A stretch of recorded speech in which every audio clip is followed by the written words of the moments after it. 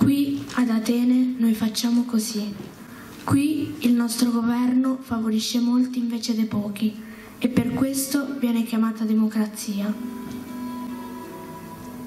Qui ad Atene noi facciamo così. Le leggi qui assicurano una giustizia uguale per tutti nelle loro dispute private, ma noi non ignoriamo mai i meriti dell'eccellenza. Quanto un cittadino si distingue, allora esso sarà, a preferenza di altri, chiamato a servire lo Stato, ma non come un atto di privilegio, come una ricompensa al merito. E la povertà non costituisce un impedimento.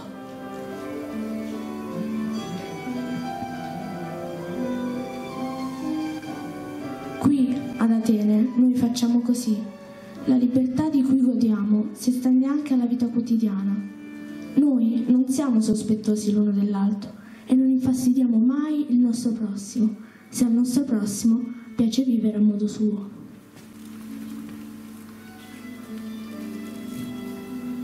Noi siamo liberi, liberi di vivere proprio come ci piace e tuttavia siamo sempre pronti a fronteggiare qualsiasi pericolo. Un cittadino ateniese non trascura pubblici affari quando attende alle proprie faccende private, ma soprattutto non si occupa dei pubblici affari per risolvere le sue questioni private.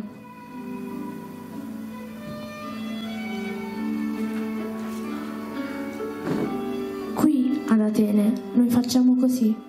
Ci è stato insegnato di rispettare i magistrati e ci è stato insegnato anche di rispettare le leggi e di non dimenticare mai che dobbiamo proteggere coloro che ricevono offesa.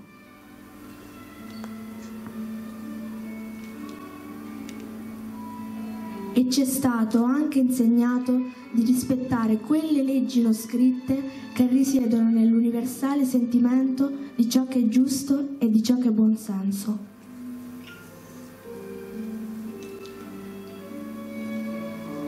ad Atene noi facciamo così.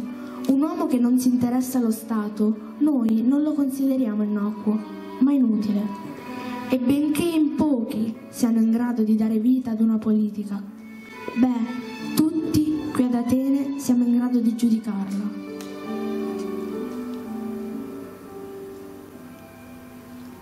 Noi non consideriamo la discussione come un ostacolo sulla via della democrazia.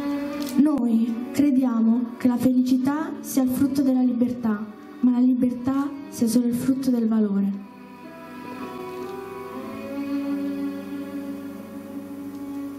Insomma, io proclamo che Atene è la scuola dell'Ellade e che ogni ateniese cresce sviluppando in sé una felice versatilità, la fiducia in se stesso, la prontezza a fronteggiare qualsiasi situazione ed è per questo che la nostra città è aperta al mondo e che noi non cacciamo mai uno straniero.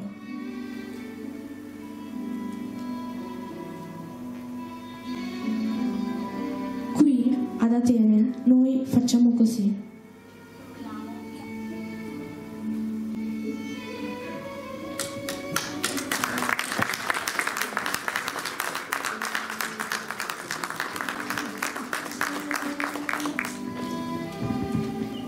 Bravissima Alessandra, grazie. E benvenuti a tutti, benvenuti a Casoli. A Salgo, mi sono abituato sempre, lo sapete. Quindi benvenuti a tutti, eh, al Presidente Antoci, alla Professoressa La Calandra, a- al Vicepreside eh, dell'Algeri Marino, a tutti gli intervenuti, agli uomini della scorta. Come abbiamo detto questa mattina a scuola che è stata una giornata bellissima, ve l'assicuro, ci hanno regalato oltre tre ore di confronto, di ascolto e vi anticipo subito che dobbiamo fare delle domande alla fine per comprendere ciò che stiamo vivendo, ciò che, che è il presente, ciò che potrà essere e che può essere il futuro. Io sono onorato di avervi qui a caso di oggi e stiamo vivendo anche una giornata particolare perché in tanti mi chiamano, ma che sta succedendo? C'è il giudice, è venuto qualcuno, mi chiedono un po' di tutto perché si sparge la voce anche insensata come le tante voci che partono e che sono prive di fondamento ma servono soltanto a depistare quello che è il vero messaggio che deve passare, che è un messaggio di rispetto di, della legalità, del rispetto del vivere civile, del rispetto del proprio anche avversario politico, anche avversario commerciale o quant'altro, ma sempre nel rispetto delle regole. E questa mattina a mio avviso, e quindi immagino che anche oggi pomeriggio sarà così, nel discorso di fondo è uscita una cosa e noi nella nostra vita possiamo fare delle scelte, le scelte si fanno quando si vota il sindaco e uno se lo sceglie, poi gli dice male, dice non è capace, vabbè poi se lo tiene per il tempo che vuole. E si fanno le scelte per il lavoro, per lo studio, per la famiglia, per tutto. E noi siamo chiamati a fare delle scelte continuamente. E oggi essere qui, essere presenti è una scelta che abbiamo voluto in scienza e coscienza. ed oltre ad essere presenti, a mio avviso, sarebbe il caso di riportare quello che dentro di noi apprezzeremo in, questa, in questo pomeriggio, che, queste due ore che passeremo assieme. Un altro concetto importante che è venuto fuori questa mattina è il silenzio. Il silenzio forse sappiamo molto bene che fa molto più rumore di tante parole, di tante frasi. Silenzio e presenza.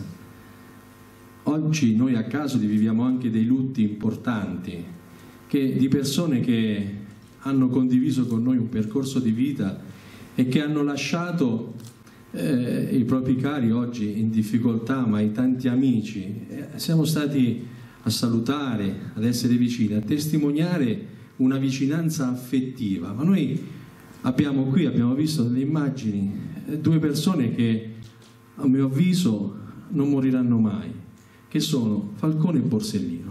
Quell'immagine che abbiamo visto tantissime volte, mi vengono i brividi, lo stavo pensando adesso mentre ero seduto.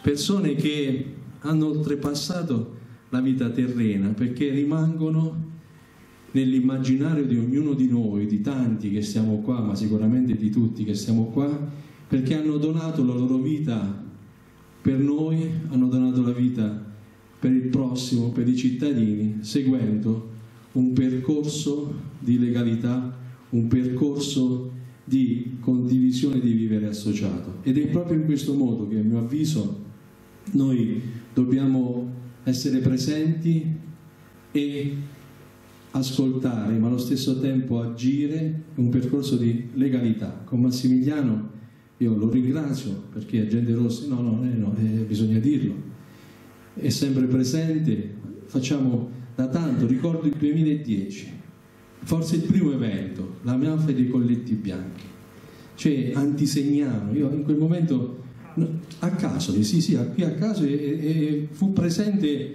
era sindaco oppure no? Neurgo Orlando c'era eh? e c'era vabbè eh, Genchi, Genchi. quindi da lontano 2010 ma da sempre che seguiamo queste tematiche e cerchiamo di fare del nostro. Una domanda che mi è piaciuta tantissimo oggi è stata questa e finisco perché mi sono dilungato però me l'ha detto Massimiliano di dilungarmi io di solito non mi dilungo mai. Presidente ma che possiamo, cosa possiamo, un ragazzo, una ragazza, hanno detto i ragazzi a scuola, ma noi che cosa possiamo fare per eh, contrastare un comportamento mafioso, un'organizzazione mafiosa, che possiamo fare? E la domanda, a me la risposta è piaciuta tantissimo, che ovviamente non ripeterò, però è questo l'invito che vi voglio fare, preparare delle domande, delle domande che fanno parte di una vita che a noi non ci appartiene perché il Presidente Antoci sta facendo tantissimo, viene, stato, hanno provato anche ad infancarlo perché questo è un passaggio fondamentale, quanto qualcosa dà fastidio, non piace, c'è un'arma fondamentale, l'arma della distrazione di massa. E non far vedere, non far puntare il focus sul, su, su qual è il principio fondamentale, ossia la legalità, che la mafia è una merda, scusate, devo passare questa parola, e si distrae con altre cose per portare l'attenzione su altro. L'attenzione è una, è una, il rispetto del principio di legalità, che è stata mio, la prima, prima domanda della professoressa di costituzionale mi fece che cos'è il principio di legalità. Il principio di legalità sapete che cos'è? È il nostro comportamento che noi abbiamo nella correttezza dei comportamenti. Grazie e adesso passiamo due ore stupende. Professore.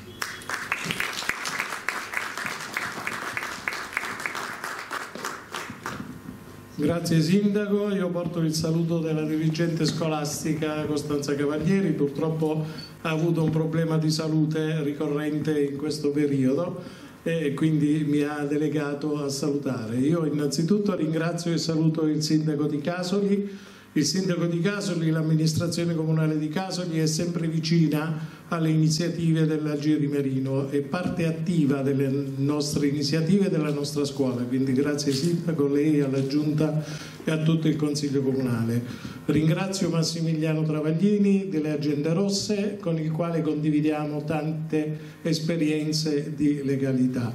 Naturalmente ringrazio anche i due ospiti che veramente questa mattina sono riusciti a toccare le corde più intime del nostro io. Quindi grazie giudice eh, dottor Antoci, presidente, grazie alla professoressa Calandra.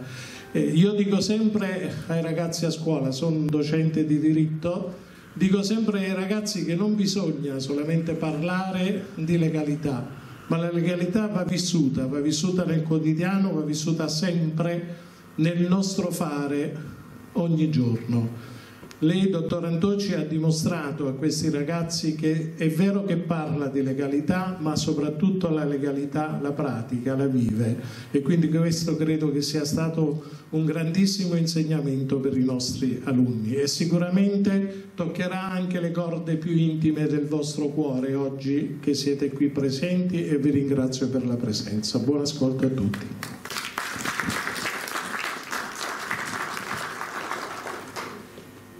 Salve, buonasera a tutti.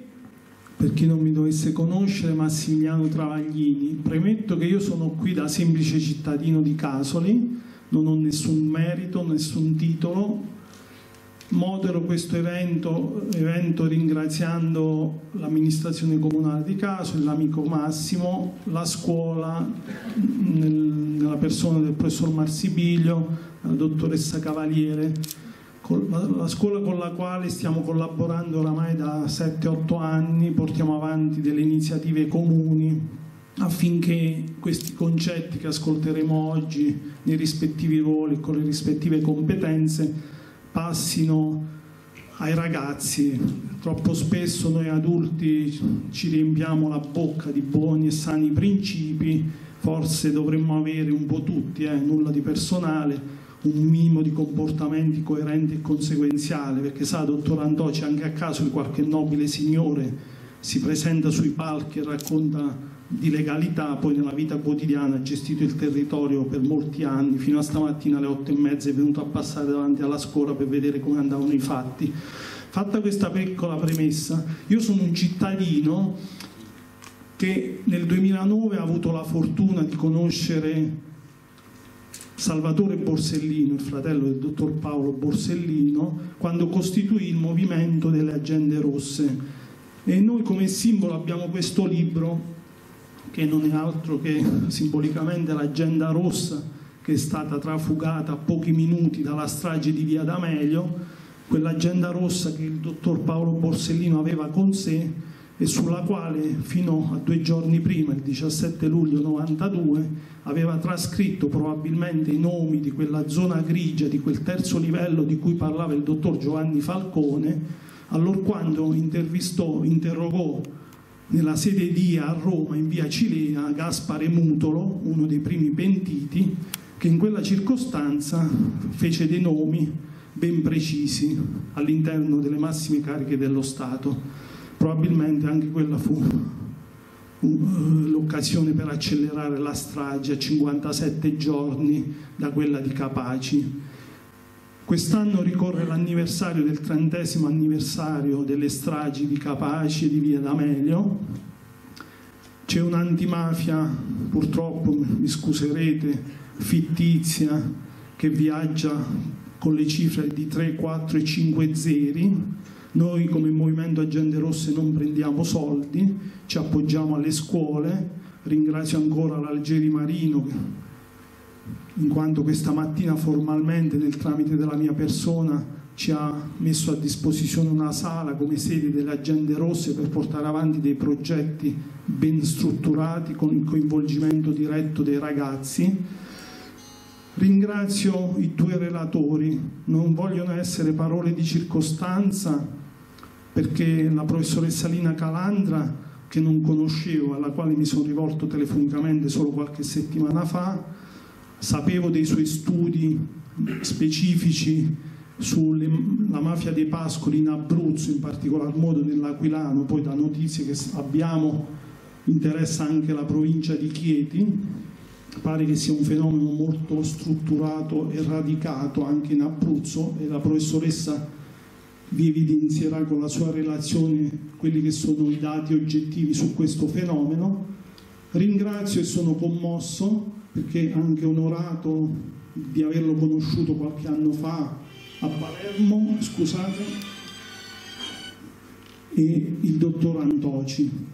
Non sono parole di circostanza, nel mio piccolo io vado insieme agli amici d'Abruzzo da 12 anni a Palermo in occasione della ricorrenza, ho avuto la fortuna e l'onore di conoscere tante persone importanti, ma non importanti per che, anche per quello che hanno fatto, però poi osservo la dignità e l'umiltà di queste persone con le quali si confrontano e si mettono a disposizione. Io ricordo quando chiesi al dottor Antoci tre anni fa, se non sbaglio, prima del Covid, forse quattro, mi corregga se sbaglio, dissi dottor Antoci mi scusi per la mia invadenza, potremmo averla a Casoli e mi disse va bene, te, ti faccio questa promessa. Poi c'è stato il fenomeno del Covid che per due anni ci ha tenuto bloccati e circa un mese fa, anche qualche giorno prima, due mesi fa, qualche settimana in più, mi disse Massimiliano, io ho l'agenda piena in tutta Italia, frequento le scuole, frequento i contesti eh, universitari,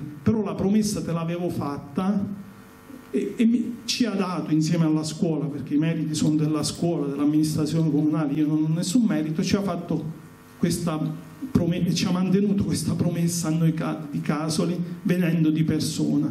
Naturalmente in questi giorni, fino a qualche ora fa, si è, visto, si è vista la disposizione della Polizia di Stato, le auto, anche a me qualcuno mi ha scritto, ma sì, che sta succedendo a Casoli? C'è tutta questa polizia. Il dottor Antoci, per chi non lo sapesse, è stato presidente del Parco dei Nebrodi. Grazie alla sua professionalità, ma soprattutto alla sua coerenza, ha stroncato il fenomeno della mafia dei pascoli che drenava centinaia e centinaia di milioni di euro e questo fenomeno naturalmente era gestito, come ci dirà lui dopo, dai capi mafiosi della Sicilia. Ha subito un attentato nella notte fra il 17 e il 18 maggio del 2016 per fortuna è qui fra di noi, è stato è uscito indenne grazie alla sua scorta della Polizia di Stato che ringrazio sempre. E quindi nella vita io dico che ci sono delle persone che fanno in fondo il proprio dovere sapendo di rischiare anche la propria vita e noi a queste persone dobbiamo essere riconoscenti e grati. Non mi dilungo, passo subito la parola alla professoressa Lina Calandra per la prima relazione di merito circostanziata su questo fenomeno, la mafia dei pascoli, in Abruzzo. Avremo modo di ascoltarla e di ricrederci perché spesso noi continuiamo a credere alle favolette delle isole felici, da, mm, alla famosa regione d'Abruzzo, isola felice verde d'Europa, però voi sapete meglio di me che le mafie si stanno riciclando.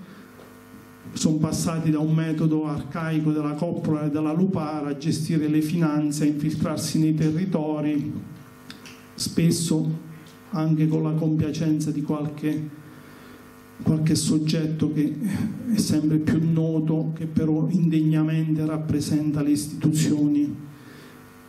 Noi a queste persone dobbiamo molto. Io un anno a Palermo, in occasione della ricorrenza della strage di Via D'Amelio, ascoltai una madre che si rivolse a Salvatore Borsellino e disse Salvatore ti devo dire una cosa mio figlio oltre ad essere saltato in aria in questa strage nella strage di Via D'Amelio non ha più un nome e Salvatore disse scusi signora cosa mi vuole dire mio figlio si chiama Scorta perché troppo spesso giustamente ricordiamo il dottor Borsellino e il dottor Falcone ma dimentichiamo di quegli uomini che hanno sacrificato la loro vita, in questo caso nella strage di Via D'Amelio, e io quindi li voglio citare perché ho avuto modo di conoscere i familiari. Emanuela Loi, la prima donna assegnata a una scorta, una ragazza appena ventenne della Sardegna, Agostino Catalano, Vincenzo Fabio Limuli, Claudio Traina ed Eddie Walter Cosina.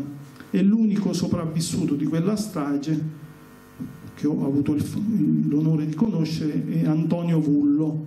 Tra l'altro la settimana scorsa alcune classi, le quinte dell'Algeri Marino, accompagnate dai docenti, il professor Marsibilio, il professor D'Antonio che vedo in sala, il professor Travaglini, sono stati a Palermo, hanno avuto la testimonianza in via D'Amelio proprio da Antonio Vullo, sotto l'albero della pace un ulivo che è stato piantato nel posto dell'esplosione voluto dalla madre del dottor Borsellino. Scusatemi se mi sono dilungato, saluto le amiche del presidio di Libera di Tornareccio, Roberto Mancini, non l'allenatore, Roberto Mancini e il poliziotto che ha scoperto la terra dei fuochi è morto per una leucemia, solo qualche giorno fa c'è stato l'anniversario. E, scusate, io sono anche emozionato, ringrazio Alessandra per la magistrale lettura di introduzione sul, sul concetto di democrazia di Pericle del 461 a.C., ma penso che siano temi sempre più d'attualità. Professoressa Calandra, a lei la parola se vuole dire qualcosa o va direttamente nella posizione per sì. proiettare le slide.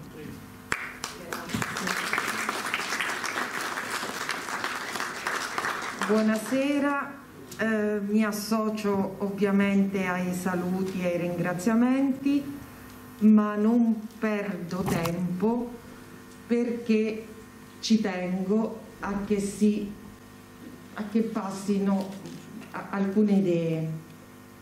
E l'idea che deve passare, secondo me chiara, oggi, approfittando della preziosa presenza del, del dottor Antoci, è che eh, avvengono dinamiche criminogene sul nostro territorio abruzzese legate ai pascoli e ai contributi europei. Quello che vi racconto, perché ve la pongo sotto forma di, di racconto, io sono una docente di geografia all'Università dell'Aquila, come docente, oltre alla didattica, all'educazione, la formazione dei, dei giovani, eh, facciamo ricerca e, e la geografia si fa con i piedi, quindi facciamo ricerca sul territorio e quello che vedete sono le ricerche che dal 2017 a praticamente la scorsa estate abbiamo condotto nei tre parchi del Gran Sasso Monti della Laga, il Parco Nazionale della Maiella, quindi 44 comuni, 39 comuni, più 22, 7 con un appendice, il Parco regionale del Sirente Velino. Questa ricerca l'abbiamo condotta nell'ambito di tre diversi progetti, progetti uno per lo sviluppo socio-economico del territorio, nel caso del Gran Sasso Laga, eh, nel caso della Maiella eravamo stati contattati dal Parco della Maiella in funzione della mh, conflittualità ambientale legata alla fauna selvatica, in particolare all'orso. Per quanto riguarda il Sirente Velino, addirittura insomma, un progetto con il Centro Sperimentale di Cinematografia, sede dell'Abruzzo, per raccontare la montagna. Quindi che, che c'entra in tutto questo uh, la criminalità organizzata? Nulla, pensavamo noi. Ma nel momento in cui vai sul territorio, persona per persona, perché quello che noi abbiamo fatto erano progetti diversi, ma il metodo di base è lo stesso e al cuore del metodo c'è una sola domanda, semplice, addirittura banale ma essenziale come va sul territorio. Che succede? Tu come stai? Che succede nella tua azienda? Che succede nella tua professione? Cosa c'è di buono? Cosa c'è che non va? Ecco, la potenza di un approccio di questo tipo è che sì, c'è chi ti risponde così perché ti deve rispondere magari nel suo ruolo istituzionale, ma c'è anche chi vede quella finestrella che si potrebbe aprire per dare voce a quello che non ha modo di dire, di far arrivare da qualche parte. Allora, se io oggi sono qui è perché noi abbiamo fatto una promessa nel nostro lavoro, che avremmo dato voce. Esplicitamente ci è stato detto, voi siete l'università, quindi questo chiama anche la, la responsabilità morale, civica di chi fa ricerca. Per chi facciamo ricerca? Per cosa facciamo ricerca? Ci è stato chiesto con le lacrime agli occhi, per favore, voi siete l'università, potete scrivere, potete raccontare, potete chiamare, potete andare in televisione, potete andare, poi forse si sopravvaluta, non è esattamente così, ma abbiamo fatto una promessa, va bene, cerchiamo e di dare voce. Abbiamo intervistato più di mille persone, ripeto, una per una, ore, ore, ore, ore di ascolto. Attori istituzionali, operatori del territorio, produttori, eh, operatori turistici, servizi, associazioni, quindi uno spaccato. Di queste oltre mille persone, almeno 200 segnalazioni sono state esplicite rispetto a cosa? A un problema sui pascoli. C'è un problema sui pascoli. Le, nelle prime interviste che facevamo ci dicevano non abbiamo più pascoli. Ora, tu esci da casa del, dalla stalla, dall'azienda dell'allevatore, ti guardi intorno nel nostro Abruzzo, Immaginate Campo Imperatore, migliaia di pascoli, come non avete più pascoli? Che non ci sono più pecore, non ci sono più pastori, non avete più pascoli. Co, com'è possibile? Dove vanno questi pascoli? A chi vanno questi pascoli? Vi confesso che noi abbiamo impiegato due anni pieni per capire quello che in realtà ci si stava dicendo. Perché all'inizio sì, lo speculatore arriva quello, arriva quell'altro, si prende in concessione i pascoli dai comuni e noi non sappiamo più dove portare le nostre pecore. È vero? Eh. Oh, de devo dirlo questo, quando dico noi, chi noi? La ricerca non la fa Lina Calandra, cioè io sono una, ma i ragazzi, quindi è un'occasione anche di formazione, di educazione sul campo, è perché la per combattere la criminalità organizzata e comunque l'illegalità in generale, eh, se non passi per l'educazione, per la formazione e per la conoscenza del territorio, eh, sono proclami, sono sì anche manifestazioni importanti, ma tu devi spenderti per conoscere quello che succede intorno a te non può essere che va a fuoco una stalla e, e vabbè, data a fuoco, e poi ne va a fuoco un'altra, e poi rubano i mezzi agricoli. Oh, rubare un trattore, eh, non è che ti stai a rubare la caramella al tabaccaio. E poi spariscono in una notte 30 mucche. Ma, cioè, portarsi via 30 mucche che cosa presuppone? Ma un'organizzazione, ma, cioè, una logistica. Una... E dove vanno queste mucche? Dove vanno questi trattori?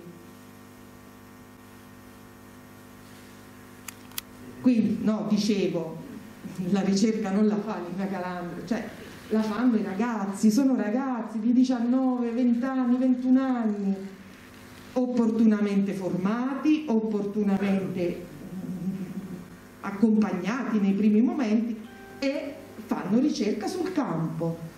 Li educhiamo ad ascoltare il territorio, perché quello che abbiamo imparato in questi anni è che il territorio non mente. Quando tu lo ascolti veramente, il territorio non mente. E anche se tu non capisci come noi non capivamo quando ci dicevano non abbiamo più pascoli, perché chi ti sta parlando? Cioè non sa con chi sta parlando ti dice, non ti dice. Il problema è tuo che non capisci, non che l'altro ti ha detto qualcosa di rilevante. Se te l'ha detto è rilevante, sei tu ricercatore che poi devi passare le notti a cercare di capire perché quella persona ti ha detto così. Perché? E vi posso dire che nel giro poi di 4-5 anni stiamo capendo oltre l'immaginabile quello che succede intorno ai pascoli e ai contributi europei. E noi ci siamo limitati a questa fettina dei pascoli ma il ragionamento va allargato all'intero settore dei contributi europei. Andrebbe. Quindi i ragazzi luogo per luogo persona per persona e con umiltà. Tu devi stare lì un'ora, due ore, tre ore il tempo che la persona ti tiene a raccontarti come va, come sta, che succede. È una ricchezza straordinaria la ricerca fatta così. Perché vi dirò, molti dei dati che ci hanno permesso di arrivare a capire quello che succede non sono i dati iscrivibili in una tabella di calcolo, poi fai la percentuale, poi fai la deviazione standard, poi fai le tortine. No, molti dei dati che ci hanno permesso di capire sono dati che hanno a che fare con la paura negli occhi delle persone, il senso di frustrazione, di disillusione, di solitudine, perché quando una persona ti dice lo abbiamo detto, ma non è successo niente, eh, lo dici una volta, lo dici due, lo dici tre, lo dici quattro, poi ti accorgi che non c'è più interlocutore a cui dire le cose. E che devi, cioè che fai? Che fai? Scusate, mi sto arrabbiando. allora, vengo al dunque. Abbiamo fatto la ricerca Dopodiché c'è un momento in cui ti devi fermare, mettere a posto quello che hai raccolto e cercare di capire e di dare spiegazioni ad ogni cosa che ti è stata detta. Anche quello che ti è stato detto di sbagliato, cioè di fuorviante, perché immaginate, abbiamo anche incontrato chi ti dice ma non succede proprio niente sui pascoli, ma non succede, ma sono un grande imprenditore, è gente seria, è gente... che cosa succede? Ma chi parla dei mafia di Pascoli è solo un incosciente, non dovrebbe parlarne. Allora, a un certo punto ti fermi e che cosa abbiamo cominciato a fare? Va bene, che ci hanno detto dove stanno, dove avvengono questi fenomeni, chi sono i soggetti che, secondo chi abbiamo intervistato, fanno delle operazioni al limite tra legale e illegale e addirittura proprio illegali completamente e li abbiamo messi su una mappa. Su una mappa. Abbiamo cominciato a mettere puntini tutti i puntini sulla mappa. Dopodiché e eh vabbè questo semmai ci ritorno dopo. Dopodiché per ognuno di quei puntini abbiamo detto vabbè chi sono queste persone questi soggetti? Dove prendono i pascoli Abbiamo provato da quello che si riusciva a trovare sui siti pubblici dei comuni, delle amministrazioni, delle regioni, dove questi hanno in concessione i pascoli, questi soggetti. E abbiamo cominciato a vedere che si costruiva una rete enorme, una rete che dall'Abruzzo va verso nord e va verso sud. Dopodiché abbiamo detto, ma allora qua, insomma, non stiamo parlando dello speculatore, del furbacchione, del malandrino di turno che conoscendo il sistema dice sai che è io adesso ne approfitto e mi intasco milioni di euro di contributi. Eh no qua comincia a configurarsi che questi soggetti tra di loro si conoscono si scambiano cose flussi. E allora approfondiamo ulteriormente organi di stampa. In rassegna organi di stampa a livello locale, organi di stampa a livello nazionale. E per esempio vengono fuori una serie di notizie su indagini, inchieste che hanno portato anche a degli arresti, insomma delle condanne.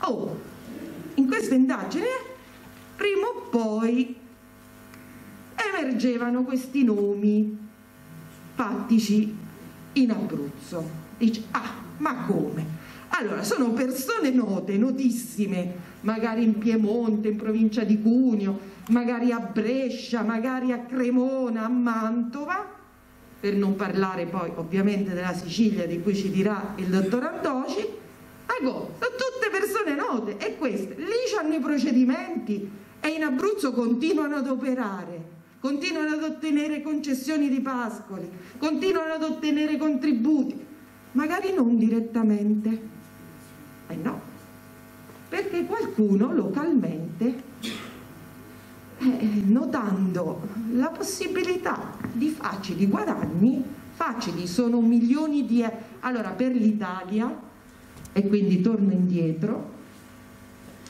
per l'Italia parliamo, allora quando parliamo dei contributi europei sulla politica agricola comune stiamo parlando della prima voce di bilancio dell'Unione Europea.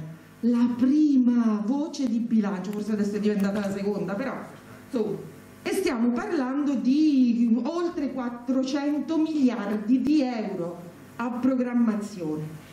I soldi di cui vi sto parlando io, i contributi diretti agli agricoltori, valgono per l'Italia ogni anno almeno 4 miliardi di euro. 4 miliardi. Ogni anno sono contributi esentasse. Eh, per l'Abruzzo non l'ho fatto il conto, mi sto muovendo ormai a livello, anche perché solo l'Abruzzo non... anche perché non riesce a capirlo solo per l'Abruzzo, sai perché? Perché arriva il soggetto di Brescia, di Mantova, di Cremona, di Verona, di, del Trentino, affitta i pascoli qui, prende in concessione i pascoli qui, ma poi l'organismo pagatore che gli attribuisce contributi è l'organismo pagatore del Veneto, l'organismo pagatore del Piemonte, e va cioè, ma noi siamo ricercatori, questa è roba investigazione, da, da, da guardia di finanza, da, non lo so da chi, ma no, noi capiamo quello che cioè il fenomeno e poi ti fermi. Oh, da dove nasce il problema di tutti questi contributi? Nasce perché nel 2005 la politica agricola comunitaria esiste da quando è stata istituita l'Unione Europea, insomma la comunità europea, quindi è una delle politiche più antiche dell'Unione Europea. Ed è un, un gran bene, eh, però se adesso la situazione è diventata questa, Qualche professionista ci calcolava che almeno un terzo dei contributi diretti agli agricoltori se ne va in, queste, in questi giri malsani. Allora, che succede? Nel 2005, ma vado veloce su questo, è complicatissimo, ma noi pure ci abbiamo messo una vita a capire, perché non è la mia materia, però ti metti là eh, però ti, certo ti metti là le ore, le ore, la notte e, e alla fine capisci. Allora, nel 2005, fino al 2005, i contributi eh, sull'agricoltura venivano dati in base alla produzione. Io produco tanto latte, produco tanti agnelli, produco il grano, produco il tabacco e proporzionalmente, insomma con tutti i calcoli, avevi diritto a un contributo. Dal 2005 in poi cambia il sistema.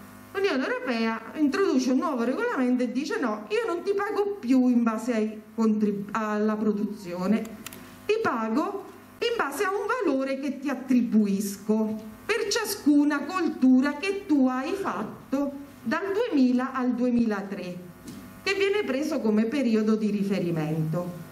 È così che si genera il titolo, quindi tu producevi 10 ettari di tabacco e nel, dal 2000 al 2003 hai ricevuto per quei 10 ettari di tabacco 100.000 euro di contributi?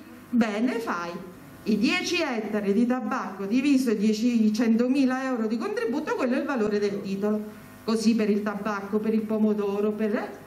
e così per il, il pascolo non era neanche stato preso in considerazione. Il risultato è che in Italia hai soggetti, visto con i miei occhi, hanno titoli per, ogni, per un ettaro da 60.000 euro, quindi tu prendi il tuo titolo da 60.000 euro, lo appoggi perché lo devi appoggiare su un ettaro di terreno, lo appoggi vuol dire devi avere un documento che dice sì, quel terreno è utilizzato da me, o di proprietà, o concesso, o in affitto, o non lo so, so basta che tu attesti che quel ettaro è a tuo uso. E hai 60.000 euro senza fare niente, non devi dimostrare di produrre, non devi dimostrare niente.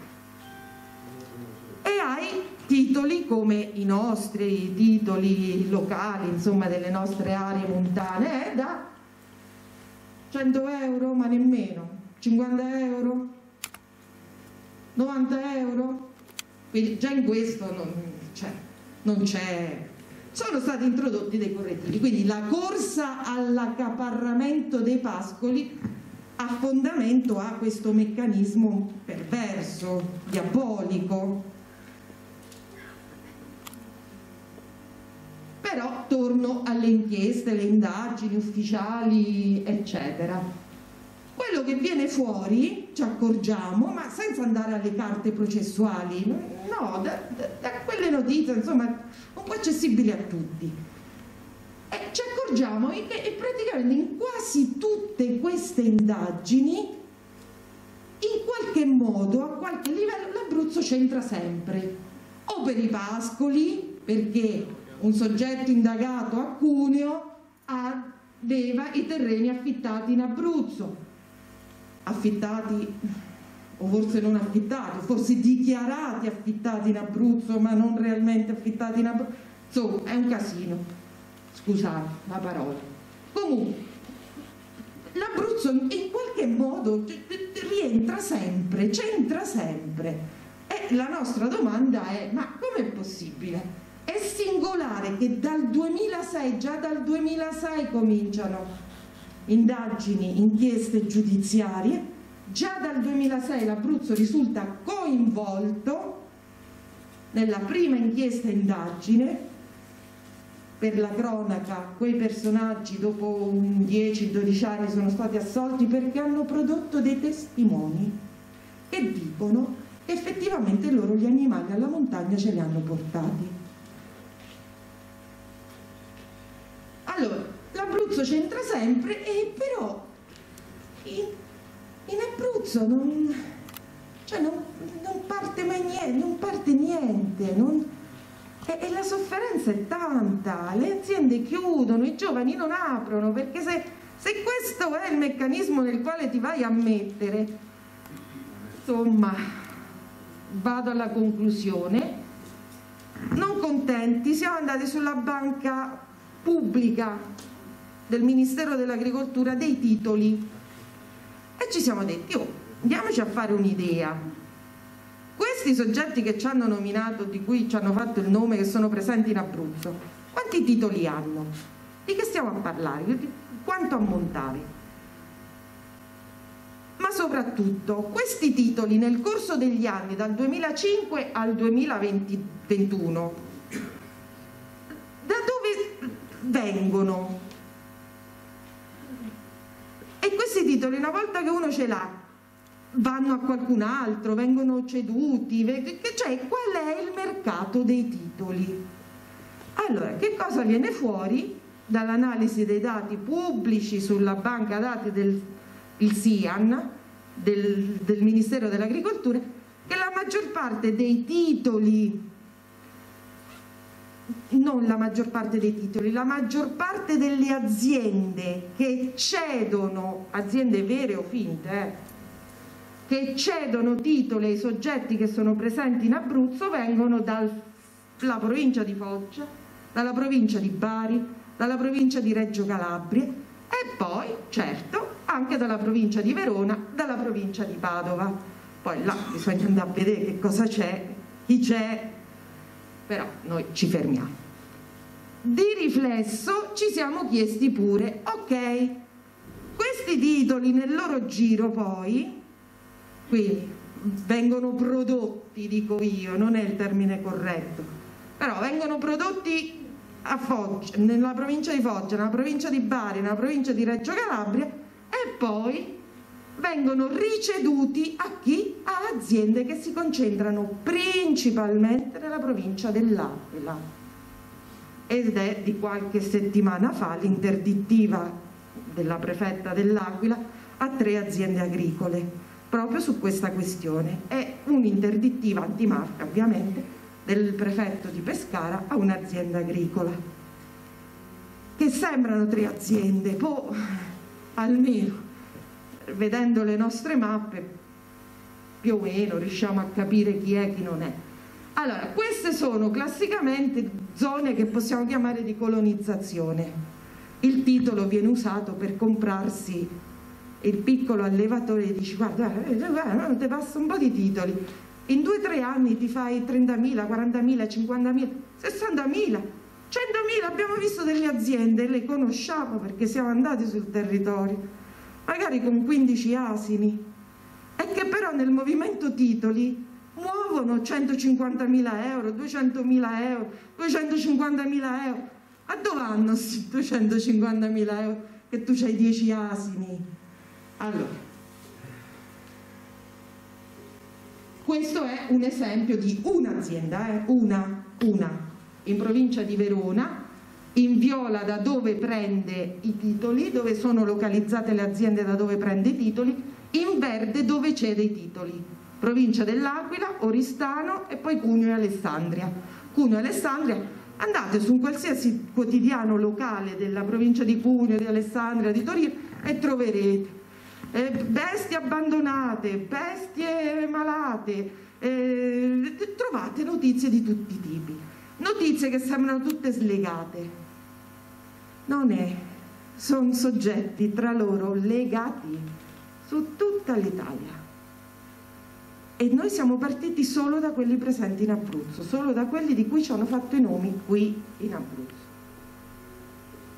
Allora, cioè com'è possibile che miliardi di euro che dovrebbero veramente andare allo sviluppo del territorio, delle aziende, la possibilità dei giovani di aprire nuove aziende, finiscano in questo vortice diabolico? È dal 2005, ma è possibile? Nessuno vede, nessuno sente, nessuno si accorge. Io ho consultato il registro pubblico del Ministero, eh, come lo faccio io, figuriamo, può fare chiunque. Ma tu non vedi che nasce, non una, nascono magari in uno stesso paese, in una stessa strada, cinque aziende, tutte lo stesso anno fissano, ma nemmeno chissà quanto, 15.000 euro? Eh, ma fate 15.000 euro di titolo per 5, poi queste nel 2007, quindi tempo due anni, due o tre anni, cedono tutti i titoli a una stessa persona, a uno stesso soggetto. Allora, perché andare dicendo queste cose? Perché quello che noi abbiamo visto sul territorio è gravissimo già che fondi pubblici destinati per un fine prendano un'altra strada, gravissimo. Ma poi quello che abbiamo potuto constatare sul territorio è che quando cominciano queste dinamiche, quando in un paese di 200 abitanti si insinuano questi soggetti, queste logiche, quello che comincia a succedere è il degrado della convivenza civile tra le persone. tra chi tenta di continuare il suo lavoro onestamente e chi entra in un giro e per qualche anno si fa pure qualche soldo, si compra pure la macchina, il macchinone, però poi...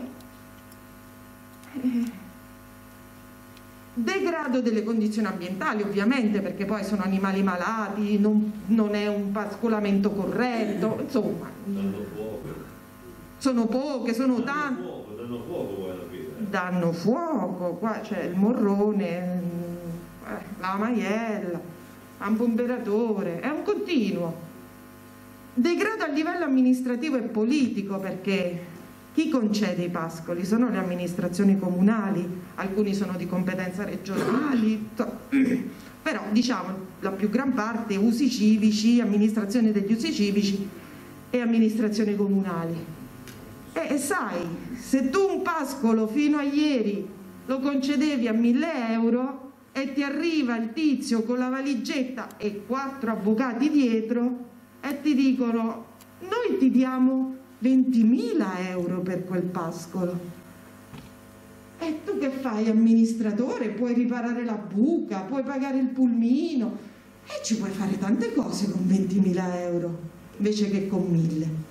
Eh, non accorgendoti però che stai consegnando il tuo territorio non si sa a quali logiche, cioè non si sa a quali logiche. Degrado quindi anche degli ambienti professionali, accademici, perché eh, io vengo dall'università. E mi sto zitta.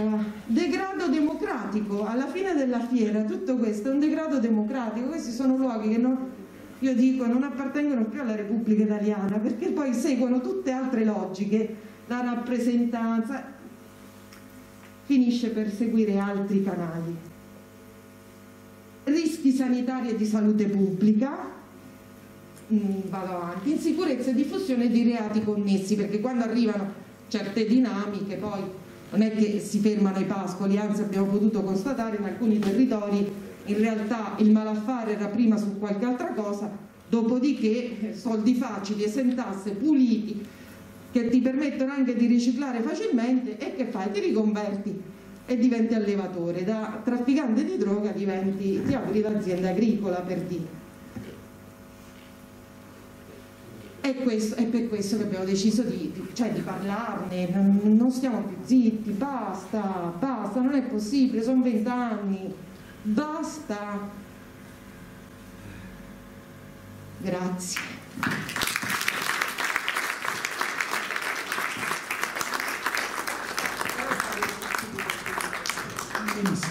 Grazie a lei, professoressa Lina Calandra, con questa relazione accurata e coinvolgente che ha fatto luce su un fenomeno eh, presente purtroppo in Abruzzo e di fronte al quale noi tutti probabilmente abbassiamo troppo spesso la testa.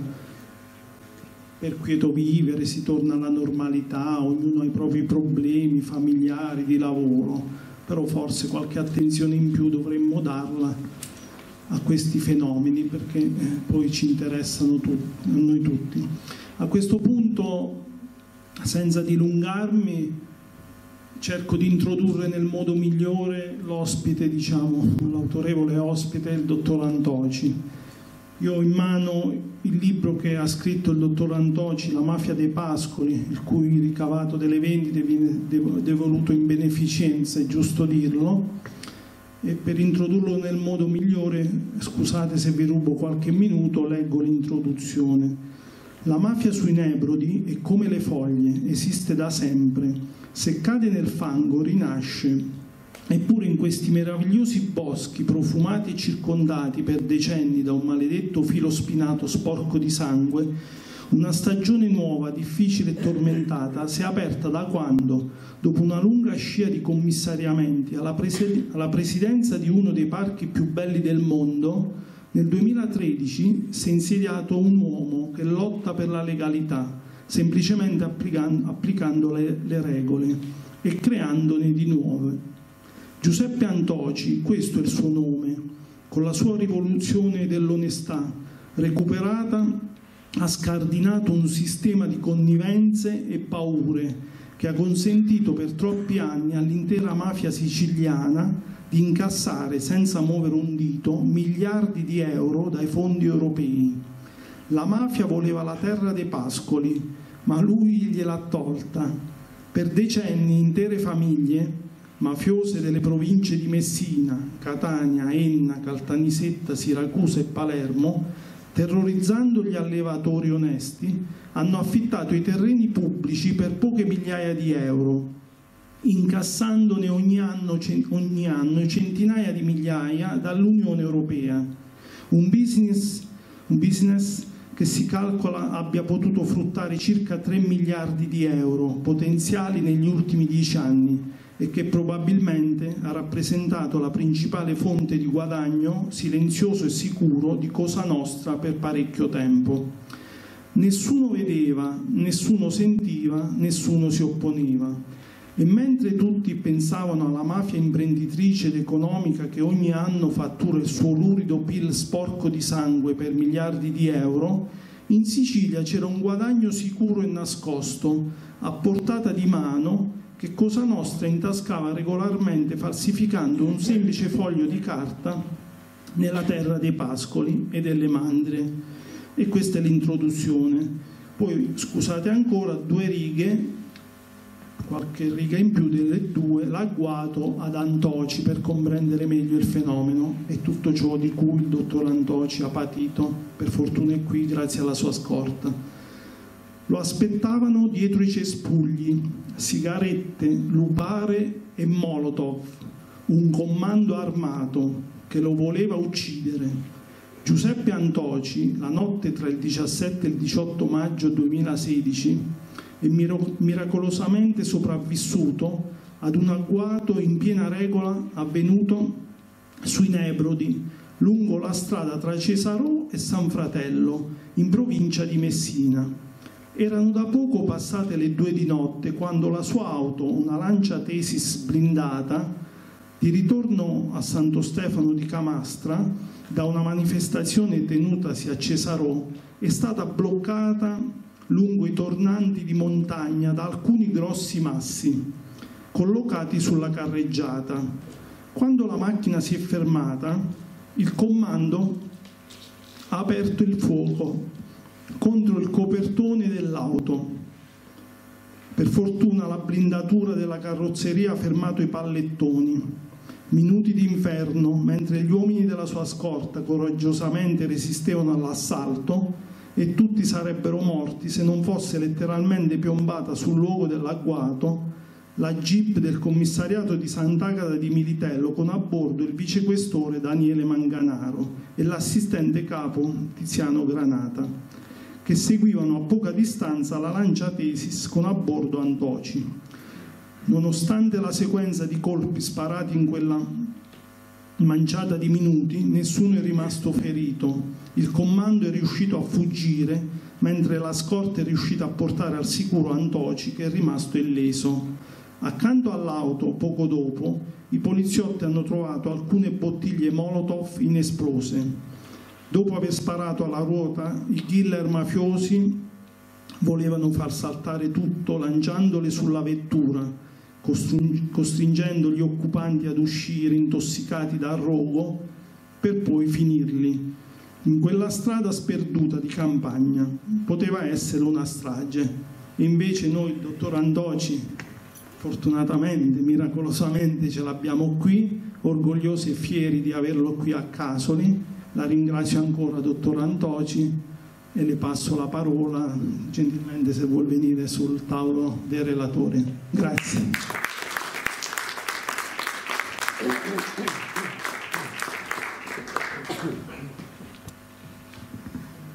Grazie, grazie Massimiliano, buonasera, buonasera a tutti.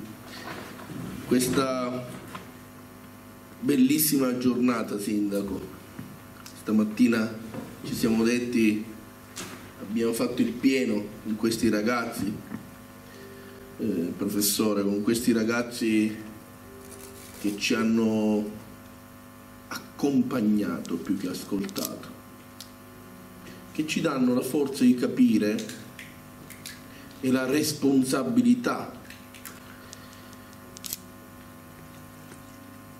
di un mondo di ragazzi che io incontro per scuole, università in tutto il paese, migliaia di ragazzi che non mi hanno mai deluso come oggi, che hanno prestato la massima attenzione, che hanno interloquito.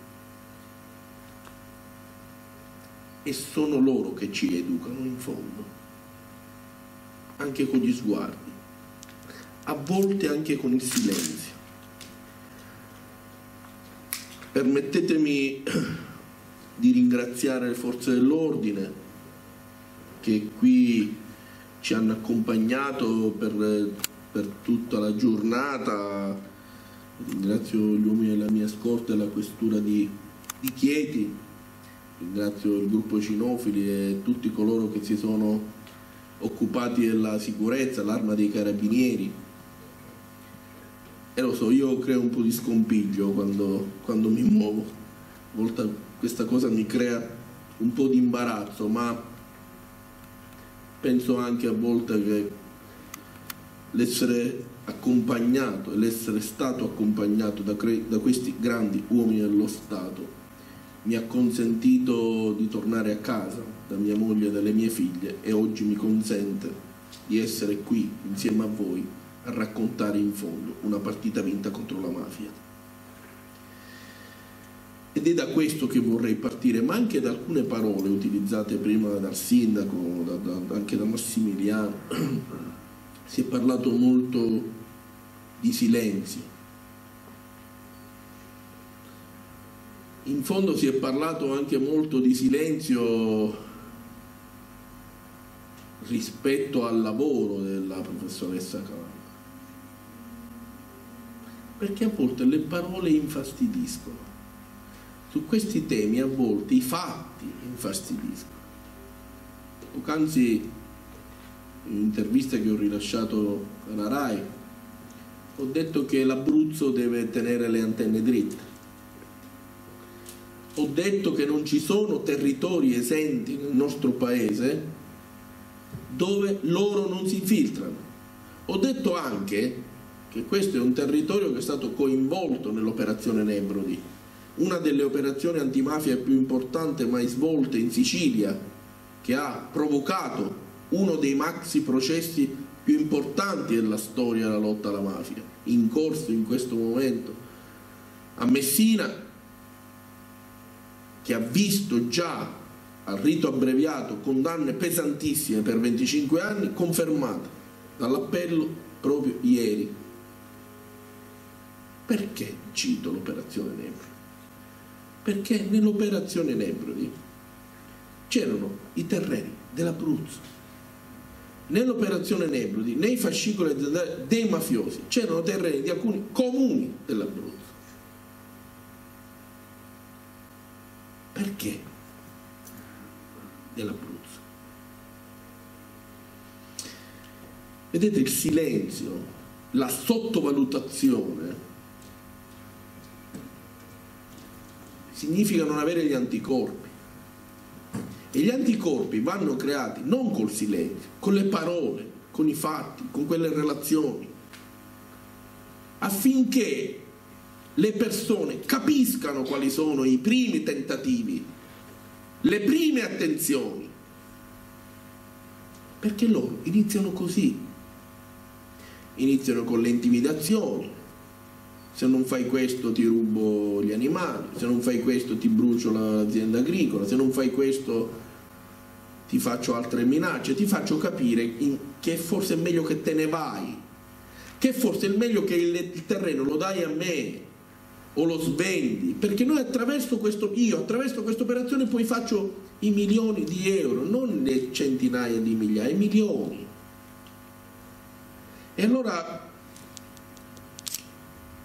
noi non solo non siamo stati in silenzio, noi quando abbiamo capito che bisognava scegliere, noi abbiamo fatto semplicemente il nostro dovere. Guardate, io è una cosa alla quale credo molto. Non abbiamo bisogno di atti di eroismo. Abbiamo bisogno soltanto di persone che fanno il proprio dovere fino in fondo Dicevo stamattina ragazzi, ma riflettiamo, il nostro paese ha la migliore normativa antimafia d'Europa e del mondo, ma se poi ci riflettiamo un attimo, ne abbiamo un'altra, ancora migliore, più importante, dalla quale ripartire, che è la Costituzione, che è il dovere di cittadinanza. Basterebbe quella. Vedete, in, una, in un video che Papa Francesco ha inviato in occasione della, a Verona del premio Dottrina Sociale della Chiesa, prima che il Cardinale Bassetti mi chiamasse per, ricevere, per consegnarmi il premio, disse una cosa bellissima. Disse, nella vita ci sono delle, pers delle persone che vanno in alcuni posti pensando di fare qualcosa e poi invece si trovano a farne un'altra o anche un'altra. È una cosa che ci, ci siamo ripetuti eh, proprio qualche settimana fa andando al Santo Padre con mia moglie e le mie figlie. Questo concetto del dono della missione che in fondo si sposa con quella normalità di cui parlavo io perché alla fine io penso che alla base delle scelte delle persone ci devono essere i valori. E perché cito eh, quel messaggio di Papa Francesco che uno va in un posto e poi fa un'altra cosa o anche un'altra cosa? Perché guardate che io in fondo sono andato a fare il presidente di un'area protetta e non ho mai scelto di andare a, a combattere o danneggiare o inimicarmi non solo la mafia siciliana ma oggi le mafie del nostro paese. Mi sono trovato, è un po' quello che diceva Borsellino in alcuni contesti. E, e, a quel punto però se ti trovi, eh, ti trovi davanti anche a una scelta, ti trovi davanti anche a un momento in cui tu ti interroghi in un momento in cui magari hai paura. Vedete, questa vicenda in fondo inizia per, proprio per tutelare, salvaguardare e difendere, professoressa, proprio degli agricoltori. Cioè, io mi inserio in questo parco bellissimo, oggi dicevo ai ragazzi, un posto meraviglioso, pensate che 86.000 ettari su tre province fra Messina, Catania ed Enna, un posto dal quale vi invito ad andarlo a visitare, si riesce ad avere alle spalle del vulcano dell'Etna di fronte il bosco, i laghi, il mare e le isole Ori contemporaneamente, è uno spettacolo della natura. Un posto bellissimo il cui ente era commissariato da dieci anni e in 25 anni io sono stato il secondo presidente, solamente il secondo presidente. Però all'inizio del mio mandato un funzionario di polizia con un sindaco mi raccontarono di questi agricoltori nell'entroterra della Sicilia che venivano vessati, umiliati, intimiditi perché non dovevano permettersi di partecipare ai bandi pubblici per gli affitti dei terreni. Era una cosa che non dovevano fare.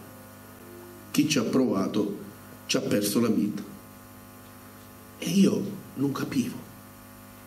Ho cercato di capire, ho cercato di leggere, ho cominciato a studiare e lì mi è venuto un po' in soccorso il, il patrimonio della mia vita, il, il mio lavoro, l'essere uomo d'azienda e ho approfondito e ho cominciato a leggere i numeri.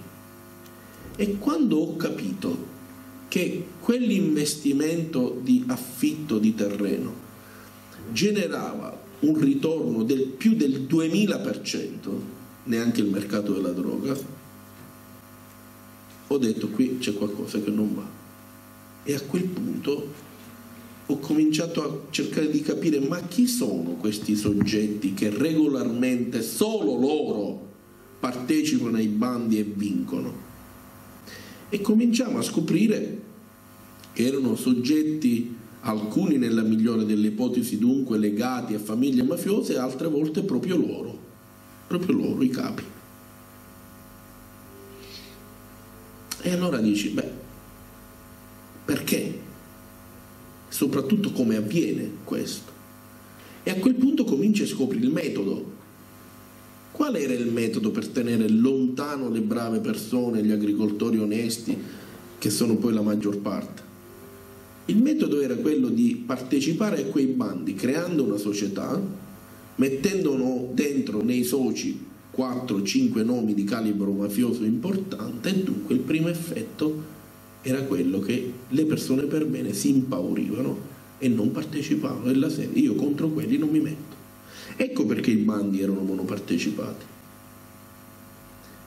Gli incrementi di un euro, due euro, quindi sostanzialmente nulla, e il bando veniva aggiudicato. Poi loro che facevano? Ancora un passo in più. Nella programmazione europea, quando tu vai a chiedere un finanziamento, sulla particella di cui chiedi il finanziamento di, dichiari se fai il pascolo, se fai il seminativo, se fai il biologico, alcune misure regolarmente e nella normalità. Loro no. Sulla stessa particella chiedevano più contribuzioni, pa- eh, seminativo, pascolo, biologico, è come se quel, terre- quel terreno avesse una coltivazione biologica e contemporaneamente ci, pass- ci passassero sopra gli animali. Ma anche lì silenzio di chi doveva controllare. Anche lì qualcuno che ci ha provato veniva nella migliore delle ipotesi intimidito, in altri considerate che ci sono una serie di omicidi non risolti negli ultimi dieci anni che fanno pensare, tra cui un sindaco sparato in faccia sotto casa, sindaco di quel comune dove io ero quella sera, prima di partire, Cesarò, per tornare a casa. E allora, vedete, voi vi, vi chiedete, ma chi erano queste persone che affittavano questi terreni e vincevano i bandi? Saranno stati dei mafiosetti così, dei... E invece no Gaetano Rina, fratello di Totò, le famiglie Santa Paolo Ercolano, in Calabria i Pelle, i Pesce, i Gallico, in Mancuso. Tutti i reggenti di Cosa Nostra della, delle province siciliane, loro diretti. I bonifici andavano a loro. Tutto questo lo facevamo mentre commemoravamo le, le vittime delle stragi. Cioè noi eravamo all'aula bunker a commemorare le vittime delle stragi e magari in quei momenti i flussi di bonifici bancari andavano a finire nei conti correnti di chi quelle stragi ha contribuito ad armarne. Oggi parlavo con i ragazzi e dicevo, ma, ma quando tu cominci a capire che c'è una vicenda di questa, e ti cominci a chiedere ma come può un mafioso di calibro importante come quelli che ho detto partecipare a un bando pubblico e addirittura drenare risorse pubbliche? Ma era semplice perché loro utilizzavano la legge sugli appalti. Cosa dice la legge sugli appalti? Per importi a base d'asta superiori a 150.000 euro occorre il certificato antimafia, che è quello rilasciato dalle prefetture su apposite istruttorie delle forze dell'ordine. Sotto quella soglia basta un'autocertificazione, quindi loro che facevano? Ma non che facevano l'altro giorno, che facevano da 18 anni.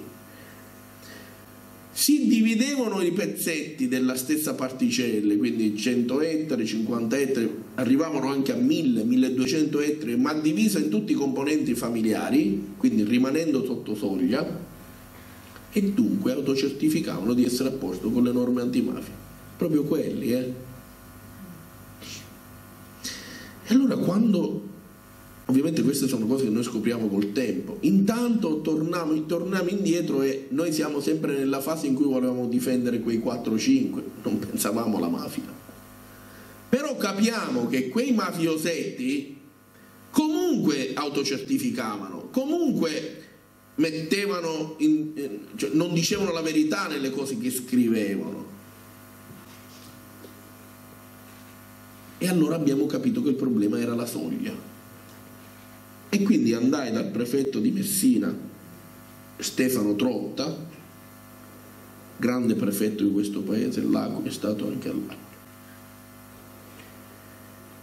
E dissi, prefetto, guardi, noi abbiamo un problema enorme che è la soglia, cioè noi dobbiamo cercare di abbattere questa soglia, quantomeno per capire cosa accade. E così creammo questo protocollo di legalità firmato da tutti i comuni del parco, i 24 comuni del parco, dove di fatto diciamo da questo momento nel territorio, poi anche firmato dalla regione eh, e quindi ampliato agli enti regionali, da questo momento in poi tutti i bandi dove c'è contribuzione europea di fondi europei per l'agricoltura ci vuole il certificato antimafia e non più l'autocertificazione.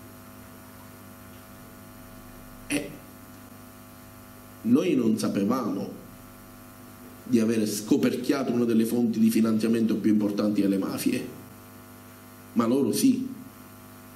E quindi mentre noi mandiamo in bozza il protocollo ai comuni, una domenica mi chiama il capo della squadra mobile e mi dice Presidente, eh, i magistrati della distrettuale antimafia di Caltanissetta le vorrebbero parlare. E io dissi, vabbè, guardi, domani ho un impegno, sono a Roma, verrò dopodomani. E lui mi disse, no, Presidente, è una cosa urgente, sposti l'impegno a Roma, venga domani. E quindi io andai a Caltanissetta. Parlai con i magistrati, parlammo del protocollo che stavamo facendo e poi prima di andare via il sostituto procuratore, il dottore Condorelli, mi dice guardi in realtà noi l'abbiamo fatta venire per dirle che appena lei esce da qua noi chiediamo al Comitato dell'Ordine e Sicurezza di metterla sotto scorta con effetto immediato. E io lo guardai e ho detto, ma scusi, ma cosa dice? Come sotto scorta? Guardi che io ho una moglie e tre figli, ho detto, devo pure vivere con la mia famiglia. E lui mi guardò e mi disse, Presidente, all'ordine del giorno non c'è che lei viva con la sua famiglia, ma che lei viva. E io non capivo. Poi ho capito ma non capivo in quel momento. E mm, non capivo neanche cosa, cosa, che cosa significava essere sotto scorta. E vedete, poi, dopo un anno, quando iniziarono i primi arresti per il protocollo e quindi la distrettuale antimafia proprio di Caltanissetta, la Guardia di Finanza arrestò le prime persone per associazione di stampo mafioso legate ai, al protocollo di legalità ai fondi europei per l'agricoltura, scoprì che proprio mentre noi costruivamo il protocollo e lo avevamo mandato in bozza, un summit di mafia diceva a questo cornuto gli dobbiamo sparare nel cervello, ci sta rovinando. Però io non lo sapevo e quindi quel giorno rimasi molto turbato, però eh, e come ognuno di voi nella vita avrà fatto tante scelte, avrà avuto tanti bivi, eh, cose più o meno importanti e avrà fatto sempre una scelta, a volte giusta, a volte no. E io mi sono trovato a farne una, decidere se fermarmi e dimettermi avendo percepito che c'era un problema oppure andare avanti. Dicevo stamattina, mi ricordo proprio il punto dove ero, quando io invece ho deciso di andare avanti, ero per strada vicino a uno svincolo dell'autostrada e mi girai, guardai questo paese, Cefalù, quel mare, quel posto turistico bello e pensai alla, alla mia terra e pensai a quanto è stata umiliata in questi anni alla mafia. E a quel punto ho detto no, io non posso fermarmi. E allora eh, loro nelle intercettazioni spesso decine ormai eh, quello che dicono sempre ah Mantoci eh, è un cornuto e soprattutto è più sbirro degli sbirri che poi per me è anche un onore in considerazione che ci sono stato quindi nelle forze dell'ordine però questo dicevano e allora io ho fatto una cosa in più perché dicevano questo? perché loro sono impazziti quando io non solo non mi sono fermato, ma sono andato oltre. il parco non aveva grandi terreni di proprietà perché erano tutti terreni dei comuni, delle regioni, della regione, erano all'interno dell'area protetta, ma non erano del parco. Io avrei potuto, sindaco, sotto il profilo amministrativo non occuparmi, non, era, non erano fatti miei. Avrei detto ai sindaci, ai sindaci veditela tu.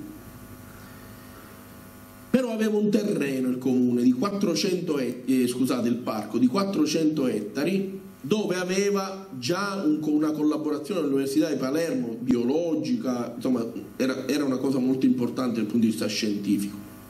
È chiaro che l'ultima cosa che avrei potuto fare è quella di metterla al bando per il pascolo, ma io lo misi al bando per il pascolo.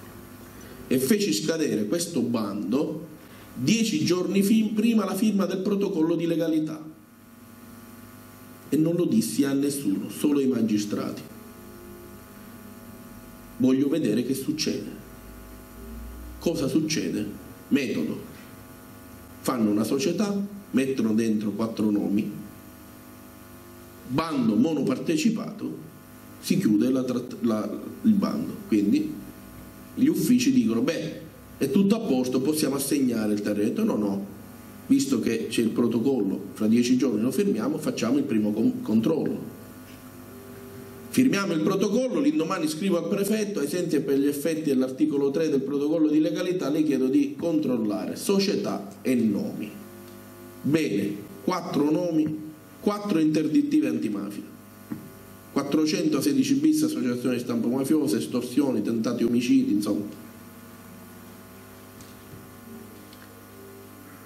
Imbarazzante, ma anche preoccupante. Quindi io non solo annullai il bando, ma li denunciai alla Procura della Repubblica per false attestazioni. Perché? Perché avevano fatto l'autocertificazione.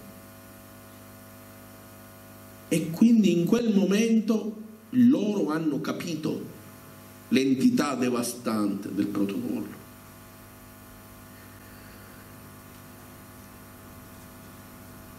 Cosa fanno? Io intanto vengo messo sotto scorta subito a quella data dopo due giorni intanto mi viene aumentata la scorta con un'auto blindata anche lì non capivo capivo che c'erano delle tensioni poi dagli atti di indagine si legge che i carabinieri del ROS scoprono in un summit di mafia la decisione ci vogliono cinque colpi per farla finita siamo al 2016. E a circa due mesi dall'attentato loro tentano di bloccare la, il protocollo anche dal, dalle, con, con le vie legali, quindi quelle interdittive sono state spiccate vengono assunte e contestate il Tribunale amministrativo regionale. Il TAR si prende circa un mese perché loro chiedono la sospensiva del provvedimento dicendo il protocollo di Antoci col prefetto è un atto pattizio, non ha valore di legge. Intanto chiediamo la sospensiva.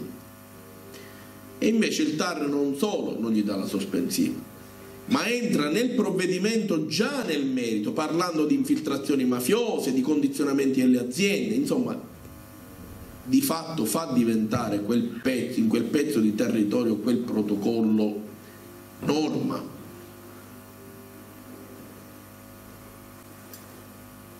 E, e ancora noi non avevamo capito. E allora a un certo punto anche in Calabria si comincia a muovere qualcosa. E in Calabria vengo chiamato da due consiglieri regionali della Calabria, un giorno mi dicono, sa Presidente, noi stiamo discutendo della vendita dei treni demaniali, per evitare che vanno all'andrangheta, cosa possiamo fare? Questo protocollo sta andando bene in Sicilia? Io, vabbè, come voi ricevo 20 telefonate al giorno, vabbè, l'ho considerata una telefonata normale come le altre, ho dato dei consigli finito là. Dopo due giorni la norma viene bloccata al Consiglio regionale del, della Calabria con la motivazione vediamo di mutuare il protocollo Antoci che in Sicilia sta facendo buoni risultati. La stampa calabrese in arrivo anche in Calabria il protocollo Antoci. Vedete, quando oggi noi leggiamo gli atti di indagine ormai definitivi. E ci rendiamo conto che in quei terreni, nei fascicoli aziendali di quei mafiosi importanti, c'era un pezzo della pista dell'aeroporto di Punta Raisi che risultava biologico, c'era un pezzo del terreno del MUOS, la base NATO di Niscemi, nei fascicoli aziendali dei mafiosi, c'erano i, super, i, parcheggi dei supermercati di Castelvetrano in cemento che risultavano biologici, c'erano i, i terreni dei comuni dell'Abruzzo, c'era un campo di calcio a Reggio Calabria,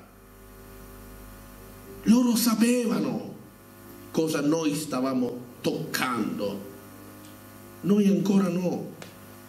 Solo in Sicilia, nella programmazione precedente, questi numeri sono valsi 5,3 miliardi di euro.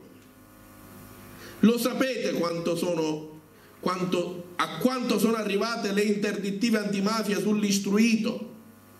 83%, ce l'avevano in mano tutti loro e ce l'avevano in mano loro a discapito di chi si alzava la mattina alle 4 a sparcarsi la schiena.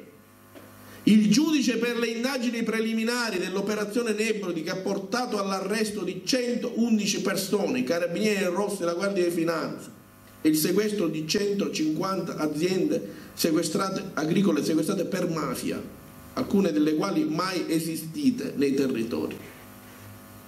Ha parlato di un territorio di anime morte di persone che non riuscivano a ribellarsi, di persone tenute, di un territorio tenuto sotto scacco da questi, da questi personaggi.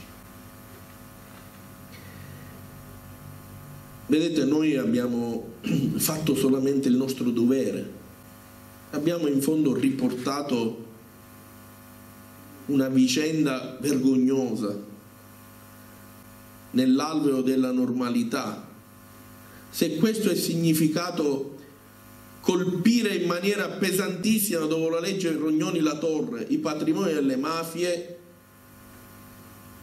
ci fa piacere. La lotta alla mafia va praticata, non va predicata. Di mafia bisogna parlarne, professoressa, perché noi abbiamo un'esperienza in questo paese, che è l'Emilia Romagna, dove un grande prefetto della Repubblica, Antonella De Miro, quando arrivò e cominciò a spiccare le interdittive antimafia, fu attaccata pesantemente dicendo che sporcava il territorio perché di mafia non se ne doveva parlare, perché la mafia non esisteva e la mafia non esiste in nessun posto. Si è generato il secondo maxi processo della storia d'Italia con 440 imputati. L'andrangheta si era infiltrata in tutto il sistema istituzionale, produttivo, sociale dell'Emilia Romagna. Era tardi, era tardi. E Antonella De Mira ha fatto un buon lavoro. E allora vedete come, come in fondo le cose appartengono, non appartengono a un territorio e le attenzioni e le antenne vanno tenute dritte ovunque. E allora pensare che da un piccolo territorio nasce un protocollo di legalità che poi viene firmato da tutti i prefetti della Sicilia, che il 27 di settembre 2017 diventa legge dello Stato italiano approvato in Parlamento nei tre cardini del nuovo codice antimafia. E di ascoltare e vedere la Commissione europea che scrivendo agli Stati membri con un'apposita nota dice noi non vi possiamo imporre una norma, una legge. Sappiamo che ci sono infiltrazioni mafiose in altri stati, cita la Corsica, cita la Slovacchia. Ricorderete Jan Kuciak, giornalista ucciso e giustiziato insieme alla fidanzata in Slovacchia. La terza persona, giornalista, che doveva andare a quell'incontro per un caso fortuito non è andata, si è salvata la vita e mi ha intervistato. E alla fine dell'intervista è scoppiata a piangere e io non capivo.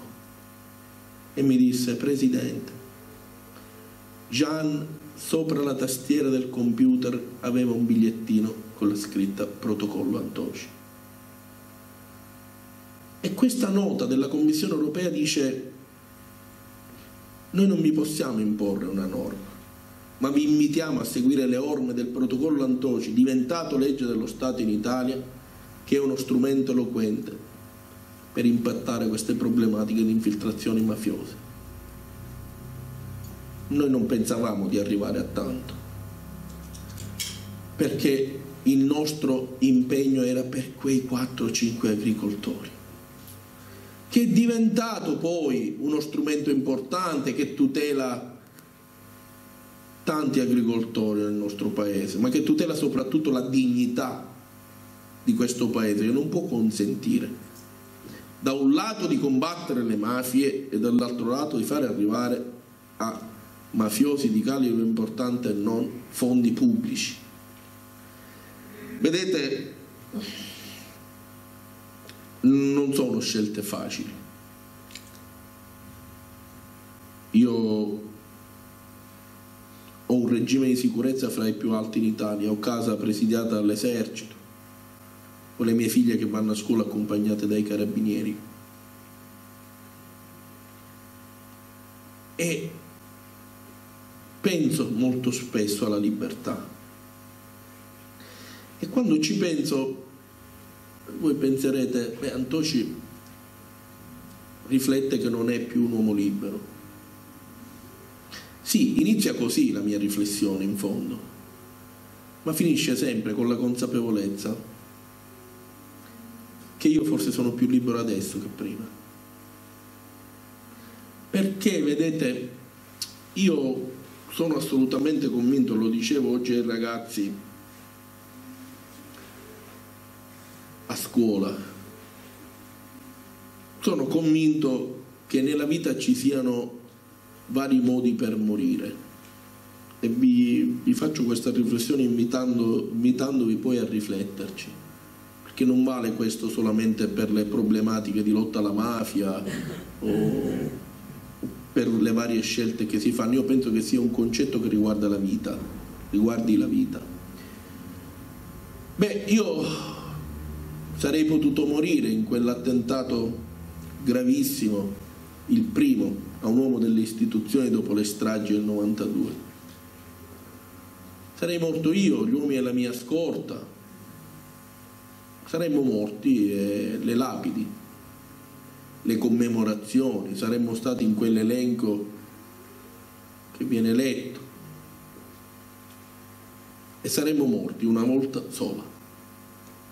E poi c'è un altro modo per morire, che è quello di alzarsi la mattina, andare davanti allo specchio per farsi la barba, guardarsi e sentirsi sporchi, sporchi. E avere la consapevolezza di non poter passare nell'altra stanza incrociare tua figlia che si alza la mattina per andare a scuola e non potergli più dire guarda che la vita va vissuta con rettitudine non bisogna abbassare mai lo sguardo, non lo puoi più fare. E a quel punto muori ogni giorno, ogni giorno che ti alzi e ti guardi allo specchio.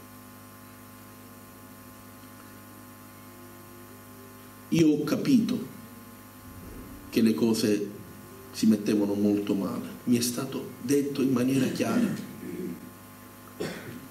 ma preferito rischiare di morire una volta piuttosto che morire ogni giorno.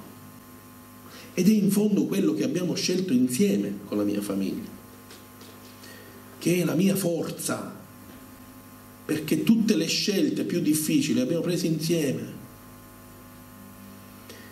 Tutti i momenti dei, passi, dei passaggi più importanti di questa vicenda, io li ho vissuti con loro. Perché in fondo io rifletto molto e penso che in questa vicenda, in fondo, io non ho voluto fare sindaco il bravo amministratore. Io prioritariamente ho voluto fare il buon padre. Cioè ho voluto essere degno di essere papà delle mie figlie, ma non per loro, per me. E quando ho capito, e c'è scritto in questo libro, quando mi è stato detto a un certo momento, Presidente, guardi, lei non vada velocemente nei posti senza dirci niente, noi abbiamo bisogno di fare le bonifiche, guardi che lei rischia veramente la vita. Eh, ma tu non avevi capito che tu eri già sotto scorta, non avevi capito che... Sì, però quando ti si dice così, a bruciapelo, ti rendi conto che c'è qualcosa dietro. Poi ovviamente le carte di indagine di vari processi hanno fatto venire fuori le varie simpatie degli interlocutori nei miei confronti. E io quella sera tornai a casa e trovai mia moglie e le mie figlie sedute a cena. E ho detto soprattutto alle mie figlie non scappate con un Facebook, telefonino, ho bisogno di parlare con voi. E dissi soprattutto a loro, manca mia moglie, guardate, papà rischia la vita. Se voi pensate che io debba fermarmi, che non ne vale la pena, che, che siete stanche, voi non vi dovete vergognare di chiederlo è un vostro diritto, io non lo so cosa farò, ma voi non vi dovete vergognare. Come raccontavo stamattina, nessuna risposta, solo sguardi, silenzio. Sono andati a, a dormire senza una parola. Io quella sera sono stato veramente male e non ho chiuso occhio, ma non, credetemi non tanto per la paura che avevo dentro di quello che mi avevano detto, ma per quegli sguardi. Ed è stata l'unica volta in questi ot- lunghi otto anni che ho pensato di aver rovinato una famiglia con le mie scelte. L'indomani mattina mia figlia, la più grande, poi ho scoperto che erano state tutte e tre nella loro stanza a parlare fino alle tre del mattino. Mi chiamò e mi disse papà ti devo parlare. E io dissi Irene quando esci da scuola ci vediamo e parliamo. E mi disse no no papà mi sono fatta venire a prendere prima a scuola da nonno, sono già a casa, vieni a casa, ho bisogno di parlare con te. Arrivai a casa e la trovai seduta nello stesso posto dove era la sera prima. E ricordo perfettamente i suoi occhi quando mi disse siediti. Mi sono seduto, lei strizzò gli occhi e mi disse papà devi fare una cosa per me. Lo devi fare per le mie sorelle. Oggi dicevo a scuola una cosa anche strana che ha detto, la, la racconto sempre, lo devi fare per le mie compagne fallo per questa terra, non ti fermare. Tanto ci siamo noi con te. Le mie figlie allora avevano, Irene andava al terzo anno, la media andava al primo liceo e la piccola in terza media. Noi, ci siamo noi. Ed è lo stesso noi di quando mi portarono a casa dopo l'attentato, dopo l'ospedale. E noi le abbiamo fatte preparare dal piano di sopra, scendere vestite, pronte per andare a scuola. Avevano lo zaino e abbiamo detto a scuola non potete andare. E si raccontavo oggi agli alunni del, della scuola che mia figlia mi ha detto ma papà ho compito di latino. E allora il questore che mi aveva accompagnato le disse in maniera molto diretta, papà ha subito un attentato. E noi ci siamo abbracciati, tutti e cinque, e abbiamo pianto. E loro anche quella mattina, anche in quei momenti. Non preoccuparti papà, tanto ci siamo noi. Allora vedete, questo non è il noi della mia famiglia. Questo è il noi di questa giornata qui, Massimiliano, con questi splendidi ragazzi, professore, che oggi ci hanno dato tanti segnali, con i loro sguardi, con il loro coinvolgimento, anche con i loro silenzi, con le loro domande. E noi di stasera qui, in questa splendida cittadina, del vostro silenzio, E questo noi vince. Perché in fondo il protagonista di questa vicenda non è Antoci, è il silenzio. È il silenzio di tutti questi lunghi anni dove tutti sapevano e nessuno faceva nulla. È il silenzio all'interno del quale ci sono altri due protagonisti le paure e le connivenze. Dicevo io le paure le rispetto, è un sentimento che conosco, che, che mi accompagna. Vanno trasformate in coraggio, in consapevolezza, in dignità. Le connivenze no, per le connivenze ci ha pensato, ci sta pensando la magistratura e le forze dell'ordine. Continueranno a pensarci, anche perché i miliardi già eh, evidenziati nelle indagini e lucrati, alcuni dei, dei, dei quali stanno ritornando allo Stato perché sequestrati con provvedimenti della magistratura di importi notevolissimi, quei miliardi devono tornare alle persone per bene, perché guardate, noi siamo più di loro. Cioè le persone per bene in questo paese siamo più di loro. E che noi non riusciamo a capire che dobbiamo unirci nel segno del dovere di cittadinanza, nel segno dell'esercizio concreto della buona amministrazione, nel segno del rispetto dei morti, perché per quelle norme che questo Paese ha approvato spesso con il sangue, in questi giorni, giorno 30, abbiamo commemorato il quarantesimo anniversario della morte di Pio La Torre.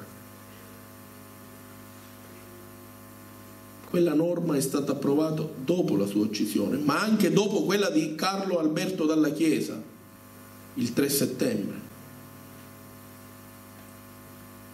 Falcone e Borsellino vengono uccisi per aver creato il doppio binario, la legge sui pentiti, tutto quello che disarcionava Cosa Nostra e le mafie e in fondo anche la nostra legge è stata approvata in Parlamento perché tra un po' altro sangue sarebbe rimasto per la strada. E allora vedete, questa è una, una storia che nel trentennale delle stragi non solo noi raccontiamo, ne parlavo con Maria Falcone l'altro giorno, quando sono andata a trovarla per, per alcuni impegni che abbiamo insieme in questo mese. Questa è una storia dove la mafia perde, ma dove i quasi morti restano vivi e reagiscono. Perché noi dobbiamo partire da un altro punto di vista. Cosa significa reagire? Reagire significa collocare le persone nel giusto posto. Ma quali uomini d'onore? uomini d'onore, ma gli uomini d'onore si nascondono. Stanno latitanti per 20 anni, per 25 anni, in condizioni pietose, con i simboli delle Madonne, bestemmiando davanti a quel simbolo. Già averli davanti è una bestemmia. Uomini d'onore. Sono stato ad Aversa l'altro giorno, lo ricordavo stamattina, e prima di incontrare circa 800 studenti mi hanno voluto parlare i familiari dei bambini che si sono ammalati di tumore per la terra dei fuochi. E due genitori che mi hanno raccontato che la figlia si ammala a otto anni e a dieci muore. E prima di morire dice mamma papà non dovete piangere per me promettetemelo dovete però impegnarvi affinché non accada mai più quello che è accaduto a me. Uomini d'onore. E allora io quando il giornalista dell'Anza mi ha chiesto cosa pensasse della Camorra, della Camorra gli ho detto quello che penso. Gli ho detto che Schiavone e Zagaria sono dei vigliacchi assassini che hanno avvelenato un territorio facendo morire uomini, donne e bambini. Che uomini d'onore sono? Vigliacchi in una intercettazione telefonica di vent'anni fa. Parlano e dicono sì, ma intanto mettiamo, poi fra vent'anni casomai si pensa moriamo tutti. Bisogna stare lontani da queste persone. Bisogna capire che anche pagare un euro di pizzo non è essere impauriti, ma è essere complici. Il silenzio, e prendo a prestito le parole del presidente Mattarella, pronunciate al quarantesimo anniversario della morte di Giorgio Ambrosoli. Mattarella dice attenzione, se da un lato c'è la mafia, la corruzione, la criminalità organizzata e dall'altro c'è chi la combatte, rimanere in mezzo pensando tanto mi faccio i fatti miei, non è quel silenzio non aiuta chi combatte le mafie, aiuta la mafia, aiuta la corruzione, aiuta l'illegalità, non significa essere innocui, significa essere complici. Allora, dice, beh, ho capito, però ognuno di noi ha le nostre paure, ma certo, ma ve lo dice uno che ci vive con la paura. Però vi prego, ricordatevi di quello specchio. Ricordatevi che ognuno di noi deve fare il conto con le nostre coscienze. Io lo so che ci sono tante persone fuori dai fari che, che denunciano e che poi si trovano le persone che hanno denunciato sotto casa. Lo so. Quelle sono persone da ammirare e, e dobbiamo stare vicino a loro. Ma si sta vicino a loro quando questo diventa una regola, non quando quelli sono l'eccezione, perché si sovraespongono quelle persone. E allora qui c'è libera, con questo nome dedicato. Io conobbi la moglie e la figlia di Mancini al premio legalità Campania, io fui premiato e c'erano loro e la figlia Alessia era proprio da poco, aveva fatto il giuramento in polizia. Io la abbracciai e le dissi, bene, cosa vuoi fare? E questa ragazza mi disse, Presidente, io voglio andare a lavorare là dove mio padre si è ammalato. Voglio continuare quello che lui ha fatto. Questo paese è fatto di questa gente. Questo paese è pieno di gente che ha valori, che mette impegno. E allora vedete come si sminuisce tutto questo. Questo concetto di eroi, quando Camilleri fece quell'intervista a Rai 1 dicendo Antoci è un eroe dei nostri tempi. E io non lo conoscevo di presenza, ho chiesto di andarlo a trovare a casa e gli dissi maestro guardi, le posso dire io la ringrazio, ma se io non mi trovo d'accordo con lei, perché non abbiamo bisogno di eroi in questo paese. E lui mi bacchettò e mi disse eh no, e allora non sei stato attento. Perché io ho continuato e ho detto Antoci è un eroe dei nostri tempi perché fa solamente, quotidianamente, il proprio lavoro. E allora vedete come tutto torna alla normalità. Anche le scelte più difficili, anche vivere una vita difficile come quella che vivo io con la mia famiglia. Diventa tutto così normale che è quasi disarmante quanta normalità c'è dietro tante scelte e tante persone. Ed è vero che non abbiamo bisogno di eroi. Però vi garantisco che in questa vicenda non è vero che non ci sono eroi. Perché gli uomini della mia scorta e della Polizia di Stato che quella notte, con un terribile conflitto a fuoco, rischiando la loro vita, mi hanno riportato a casa da mia moglie e dalle mie figlie, ecco, lì loro sono eroi.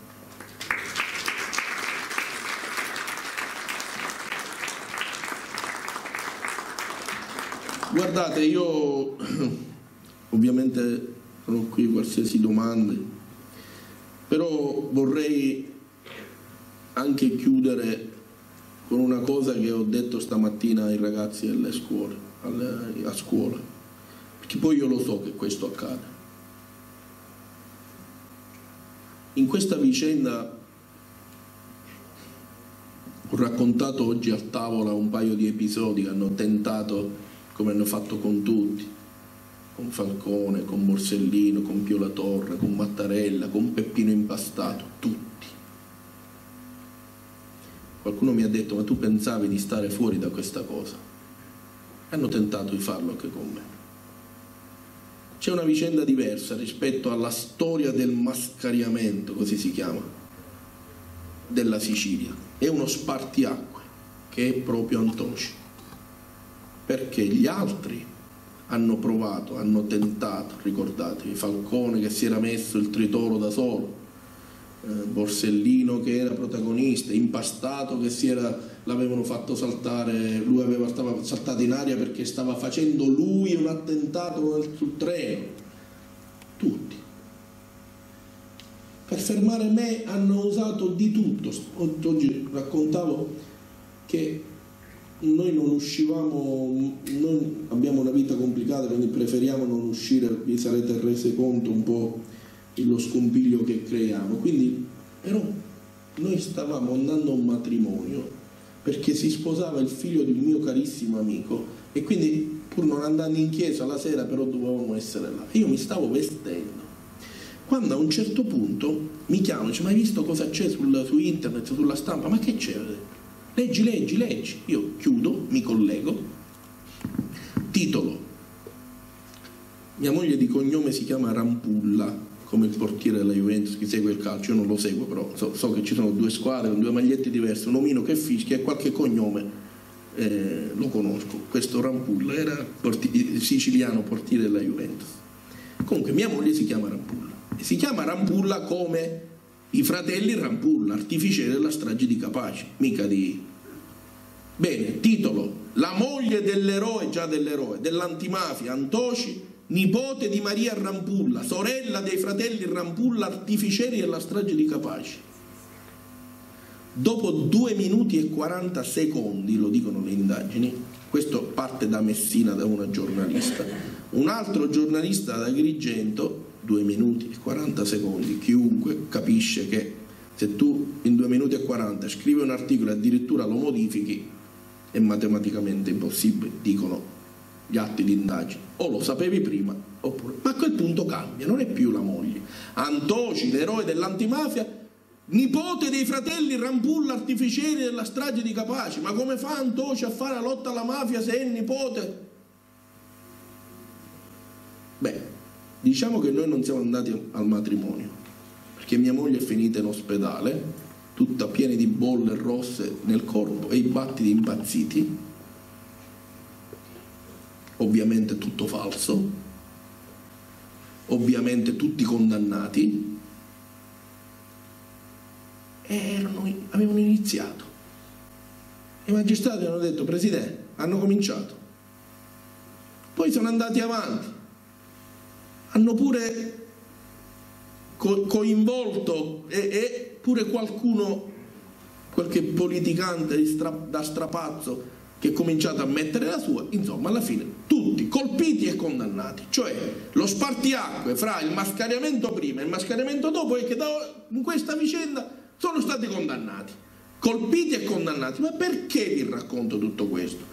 Perché uno che conosce questa vicenda, che la, la legge, a un certo punto dice ma scusate fatemi capire, ma uno va a fare il presidente di un'area protetta, si trova a combattere la mafia, perde la libertà sua e della sua famiglia.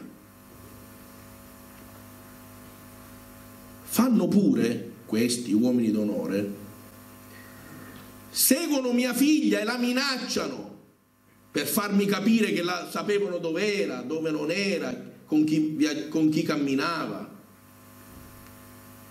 Pensate che mascalzoni a una ragazzina, una bambina. Eppure tra un po' perdeva la vita, più hanno tentato pure di delegittimarlo come hanno fatto con tutti. E allora voi stasera me ne andate a casa e dice, oh, ma ne vale la pena? Perché io lo so che qualcuno di voi lo penserà. E allora io vi rispondo così come ho detto stamattina ai ragazzi, perché poi queste domande eh, è ovvio che non hanno età, è una domanda quasi che diamo per scontato. E allora io però vi rispondo come? In questo libro, i cui proventi sono destinati alla Quarto Savona 15, che è l'associazione di cui è presidente Tina Montinaro, la moglie, specifico sempre, non la vedova di Antonio Montinaro, caposcorta ucciso nella strage di Capace insieme a Giovanni Falcone, la moglie. Sono destinati i proventi di diritti d'autore a questa associazione e quel dialogo che c'è scritto in questo libro fra me e mia figlia, che a nome delle sue sorelle mi dice vai avanti, non ti fermare, alla prima nazionale della presentazione del libro a Roma al Tempio di Adriano, il libro è stato presentato dal procuratore nazionale antimafia Cafiero De Rao e dall'allora capo della polizia prefetto Gabrielli. Questa parte l'ha letta un ragazzo che si chiama Giovanni Montinaro, il figlio di Antonio Montinaro. Legge questo pezzo, finisce, si siede accanto a me al prefetto Gabrielli e il giornalista che moderava la serata, che era l'allora direttore del TG1 Andrea Montanari, gli chiese Giovanni, ma vuoi dire qualcos'altro? E lui dice sì, vi avrei richiesto la parola. Si gira, mi mette una mano sulla spalla e mi dice grazie Presidente, grazie di cuore. Questa sera, attraverso queste righe e attraverso queste parole, dopo tanti anni sono riuscito a parlare a mio padre. Ecco, certo che ne vale la pena.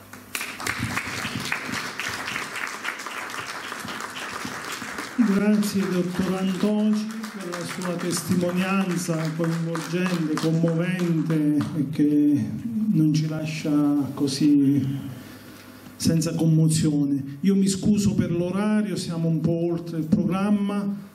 Ringrazio l'amministrazione comunale che a conclusione vuole consegnare, lo facciamo dopo quando finiamo simbolicamente un pensiero di caso al dottor Antoci. C'è Alessandra che velocemente legge delle riflessioni di Paolo Borsellino, ti porto il microfono, Dopodiché invito l'amico Simone Ferrari a venire qua sul palco.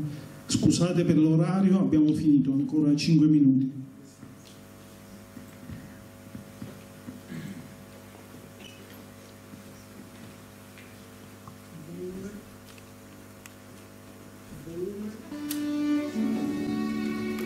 Da Paolo Borsellino e l'agenda rossa.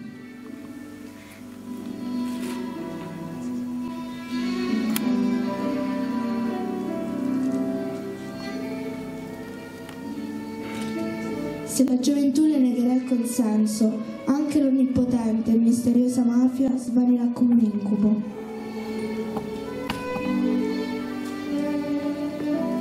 Davanti alle difficoltà non bisogna arrendersi, al contrario, devono stimolarci a fare sempre di più e meglio, a superare gli ostacoli per raggiungere i risultati che ci siamo prefissati.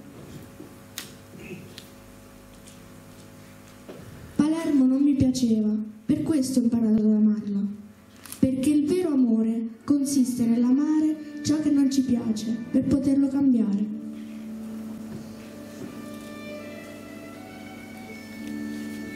La paura è normale che ci sia, l'importante è che sia accompagnata dal coraggio. Non bisogna lasciarsi sopraffare dalla paura, se no diventa un ostacolo che ti impedisce di andare avanti.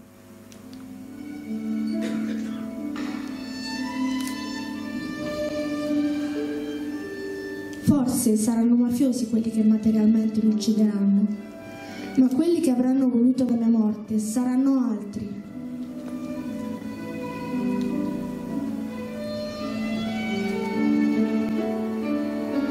È bello morire per ciò in cui si crede. Chi ha paura muore ogni giorno, chi ha coraggio muore una volta sola.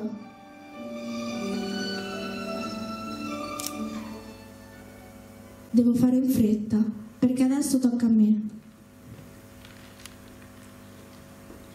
I giovani e la mafia è un problema di cultura, non in senso restrittivo e puramente nozionistico, ma come insieme di conoscenze che contribuiscono alla crescita della persona.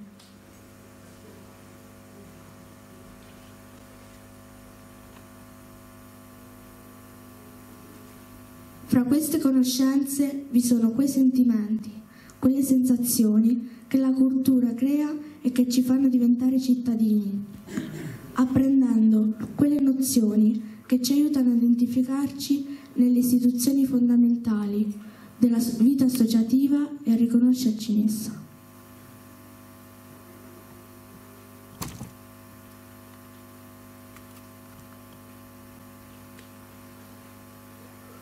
Purtroppo i giudici possono agire solo in parte nella lotta alla mafia. Se la mafia è un'istituzione antistato che attira consensi perché è ritenuta più efficace dello Stato, è compito della scuola rovesciare questo processo perverso formando i giovani alla cultura dello Stato e delle istituzioni.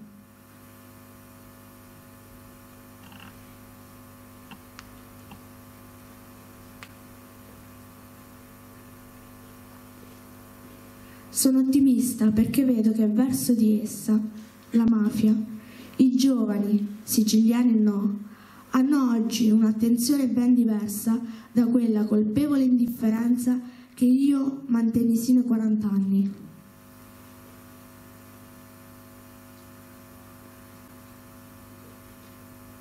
Quando questi giovani saranno adulti avranno più forza di reagire di quanto io e la mia generazione ne abbiamo avuto.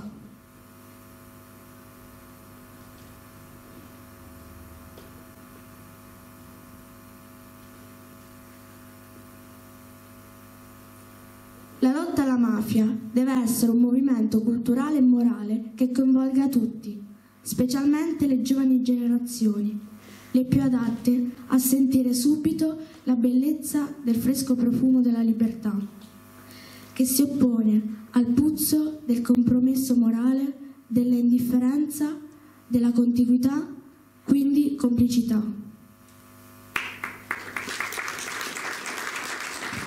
E noi complici non vogliamo essere, se, se ritenete giusto vi invito in occasione del trentennale delle stragi capaci via D'Amelio e di troppi morti ammazzati, un minuto di, di silenzio e raccoglimento per queste persone che hanno dato la vita e l'hanno fatto anche per noi. Il, il direttore della banda di caso di Salvatore Trovato, Simone Ferrari, che ringrazio. Scusate, poi ce la consegna al dottor Antoci, alla professoressa Calandra del ricordo. Grazie.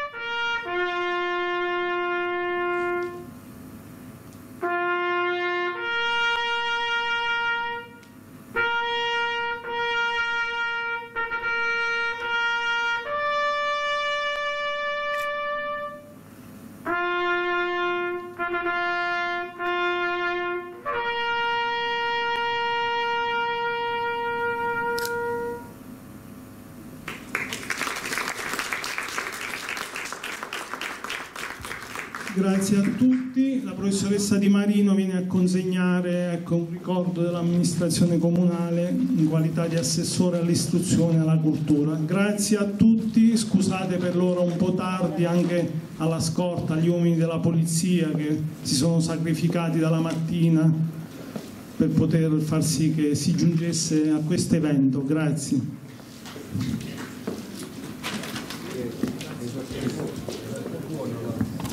Grazie.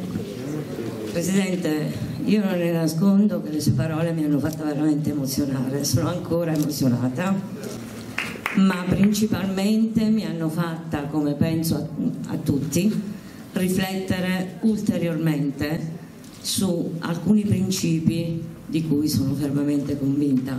Per cui la ringrazio per esserci, la ringrazio per quello che ha fatto, per quello che farà e le auguro buona vita di tutto cuore. Un pensiero da parte dell'amministrazione.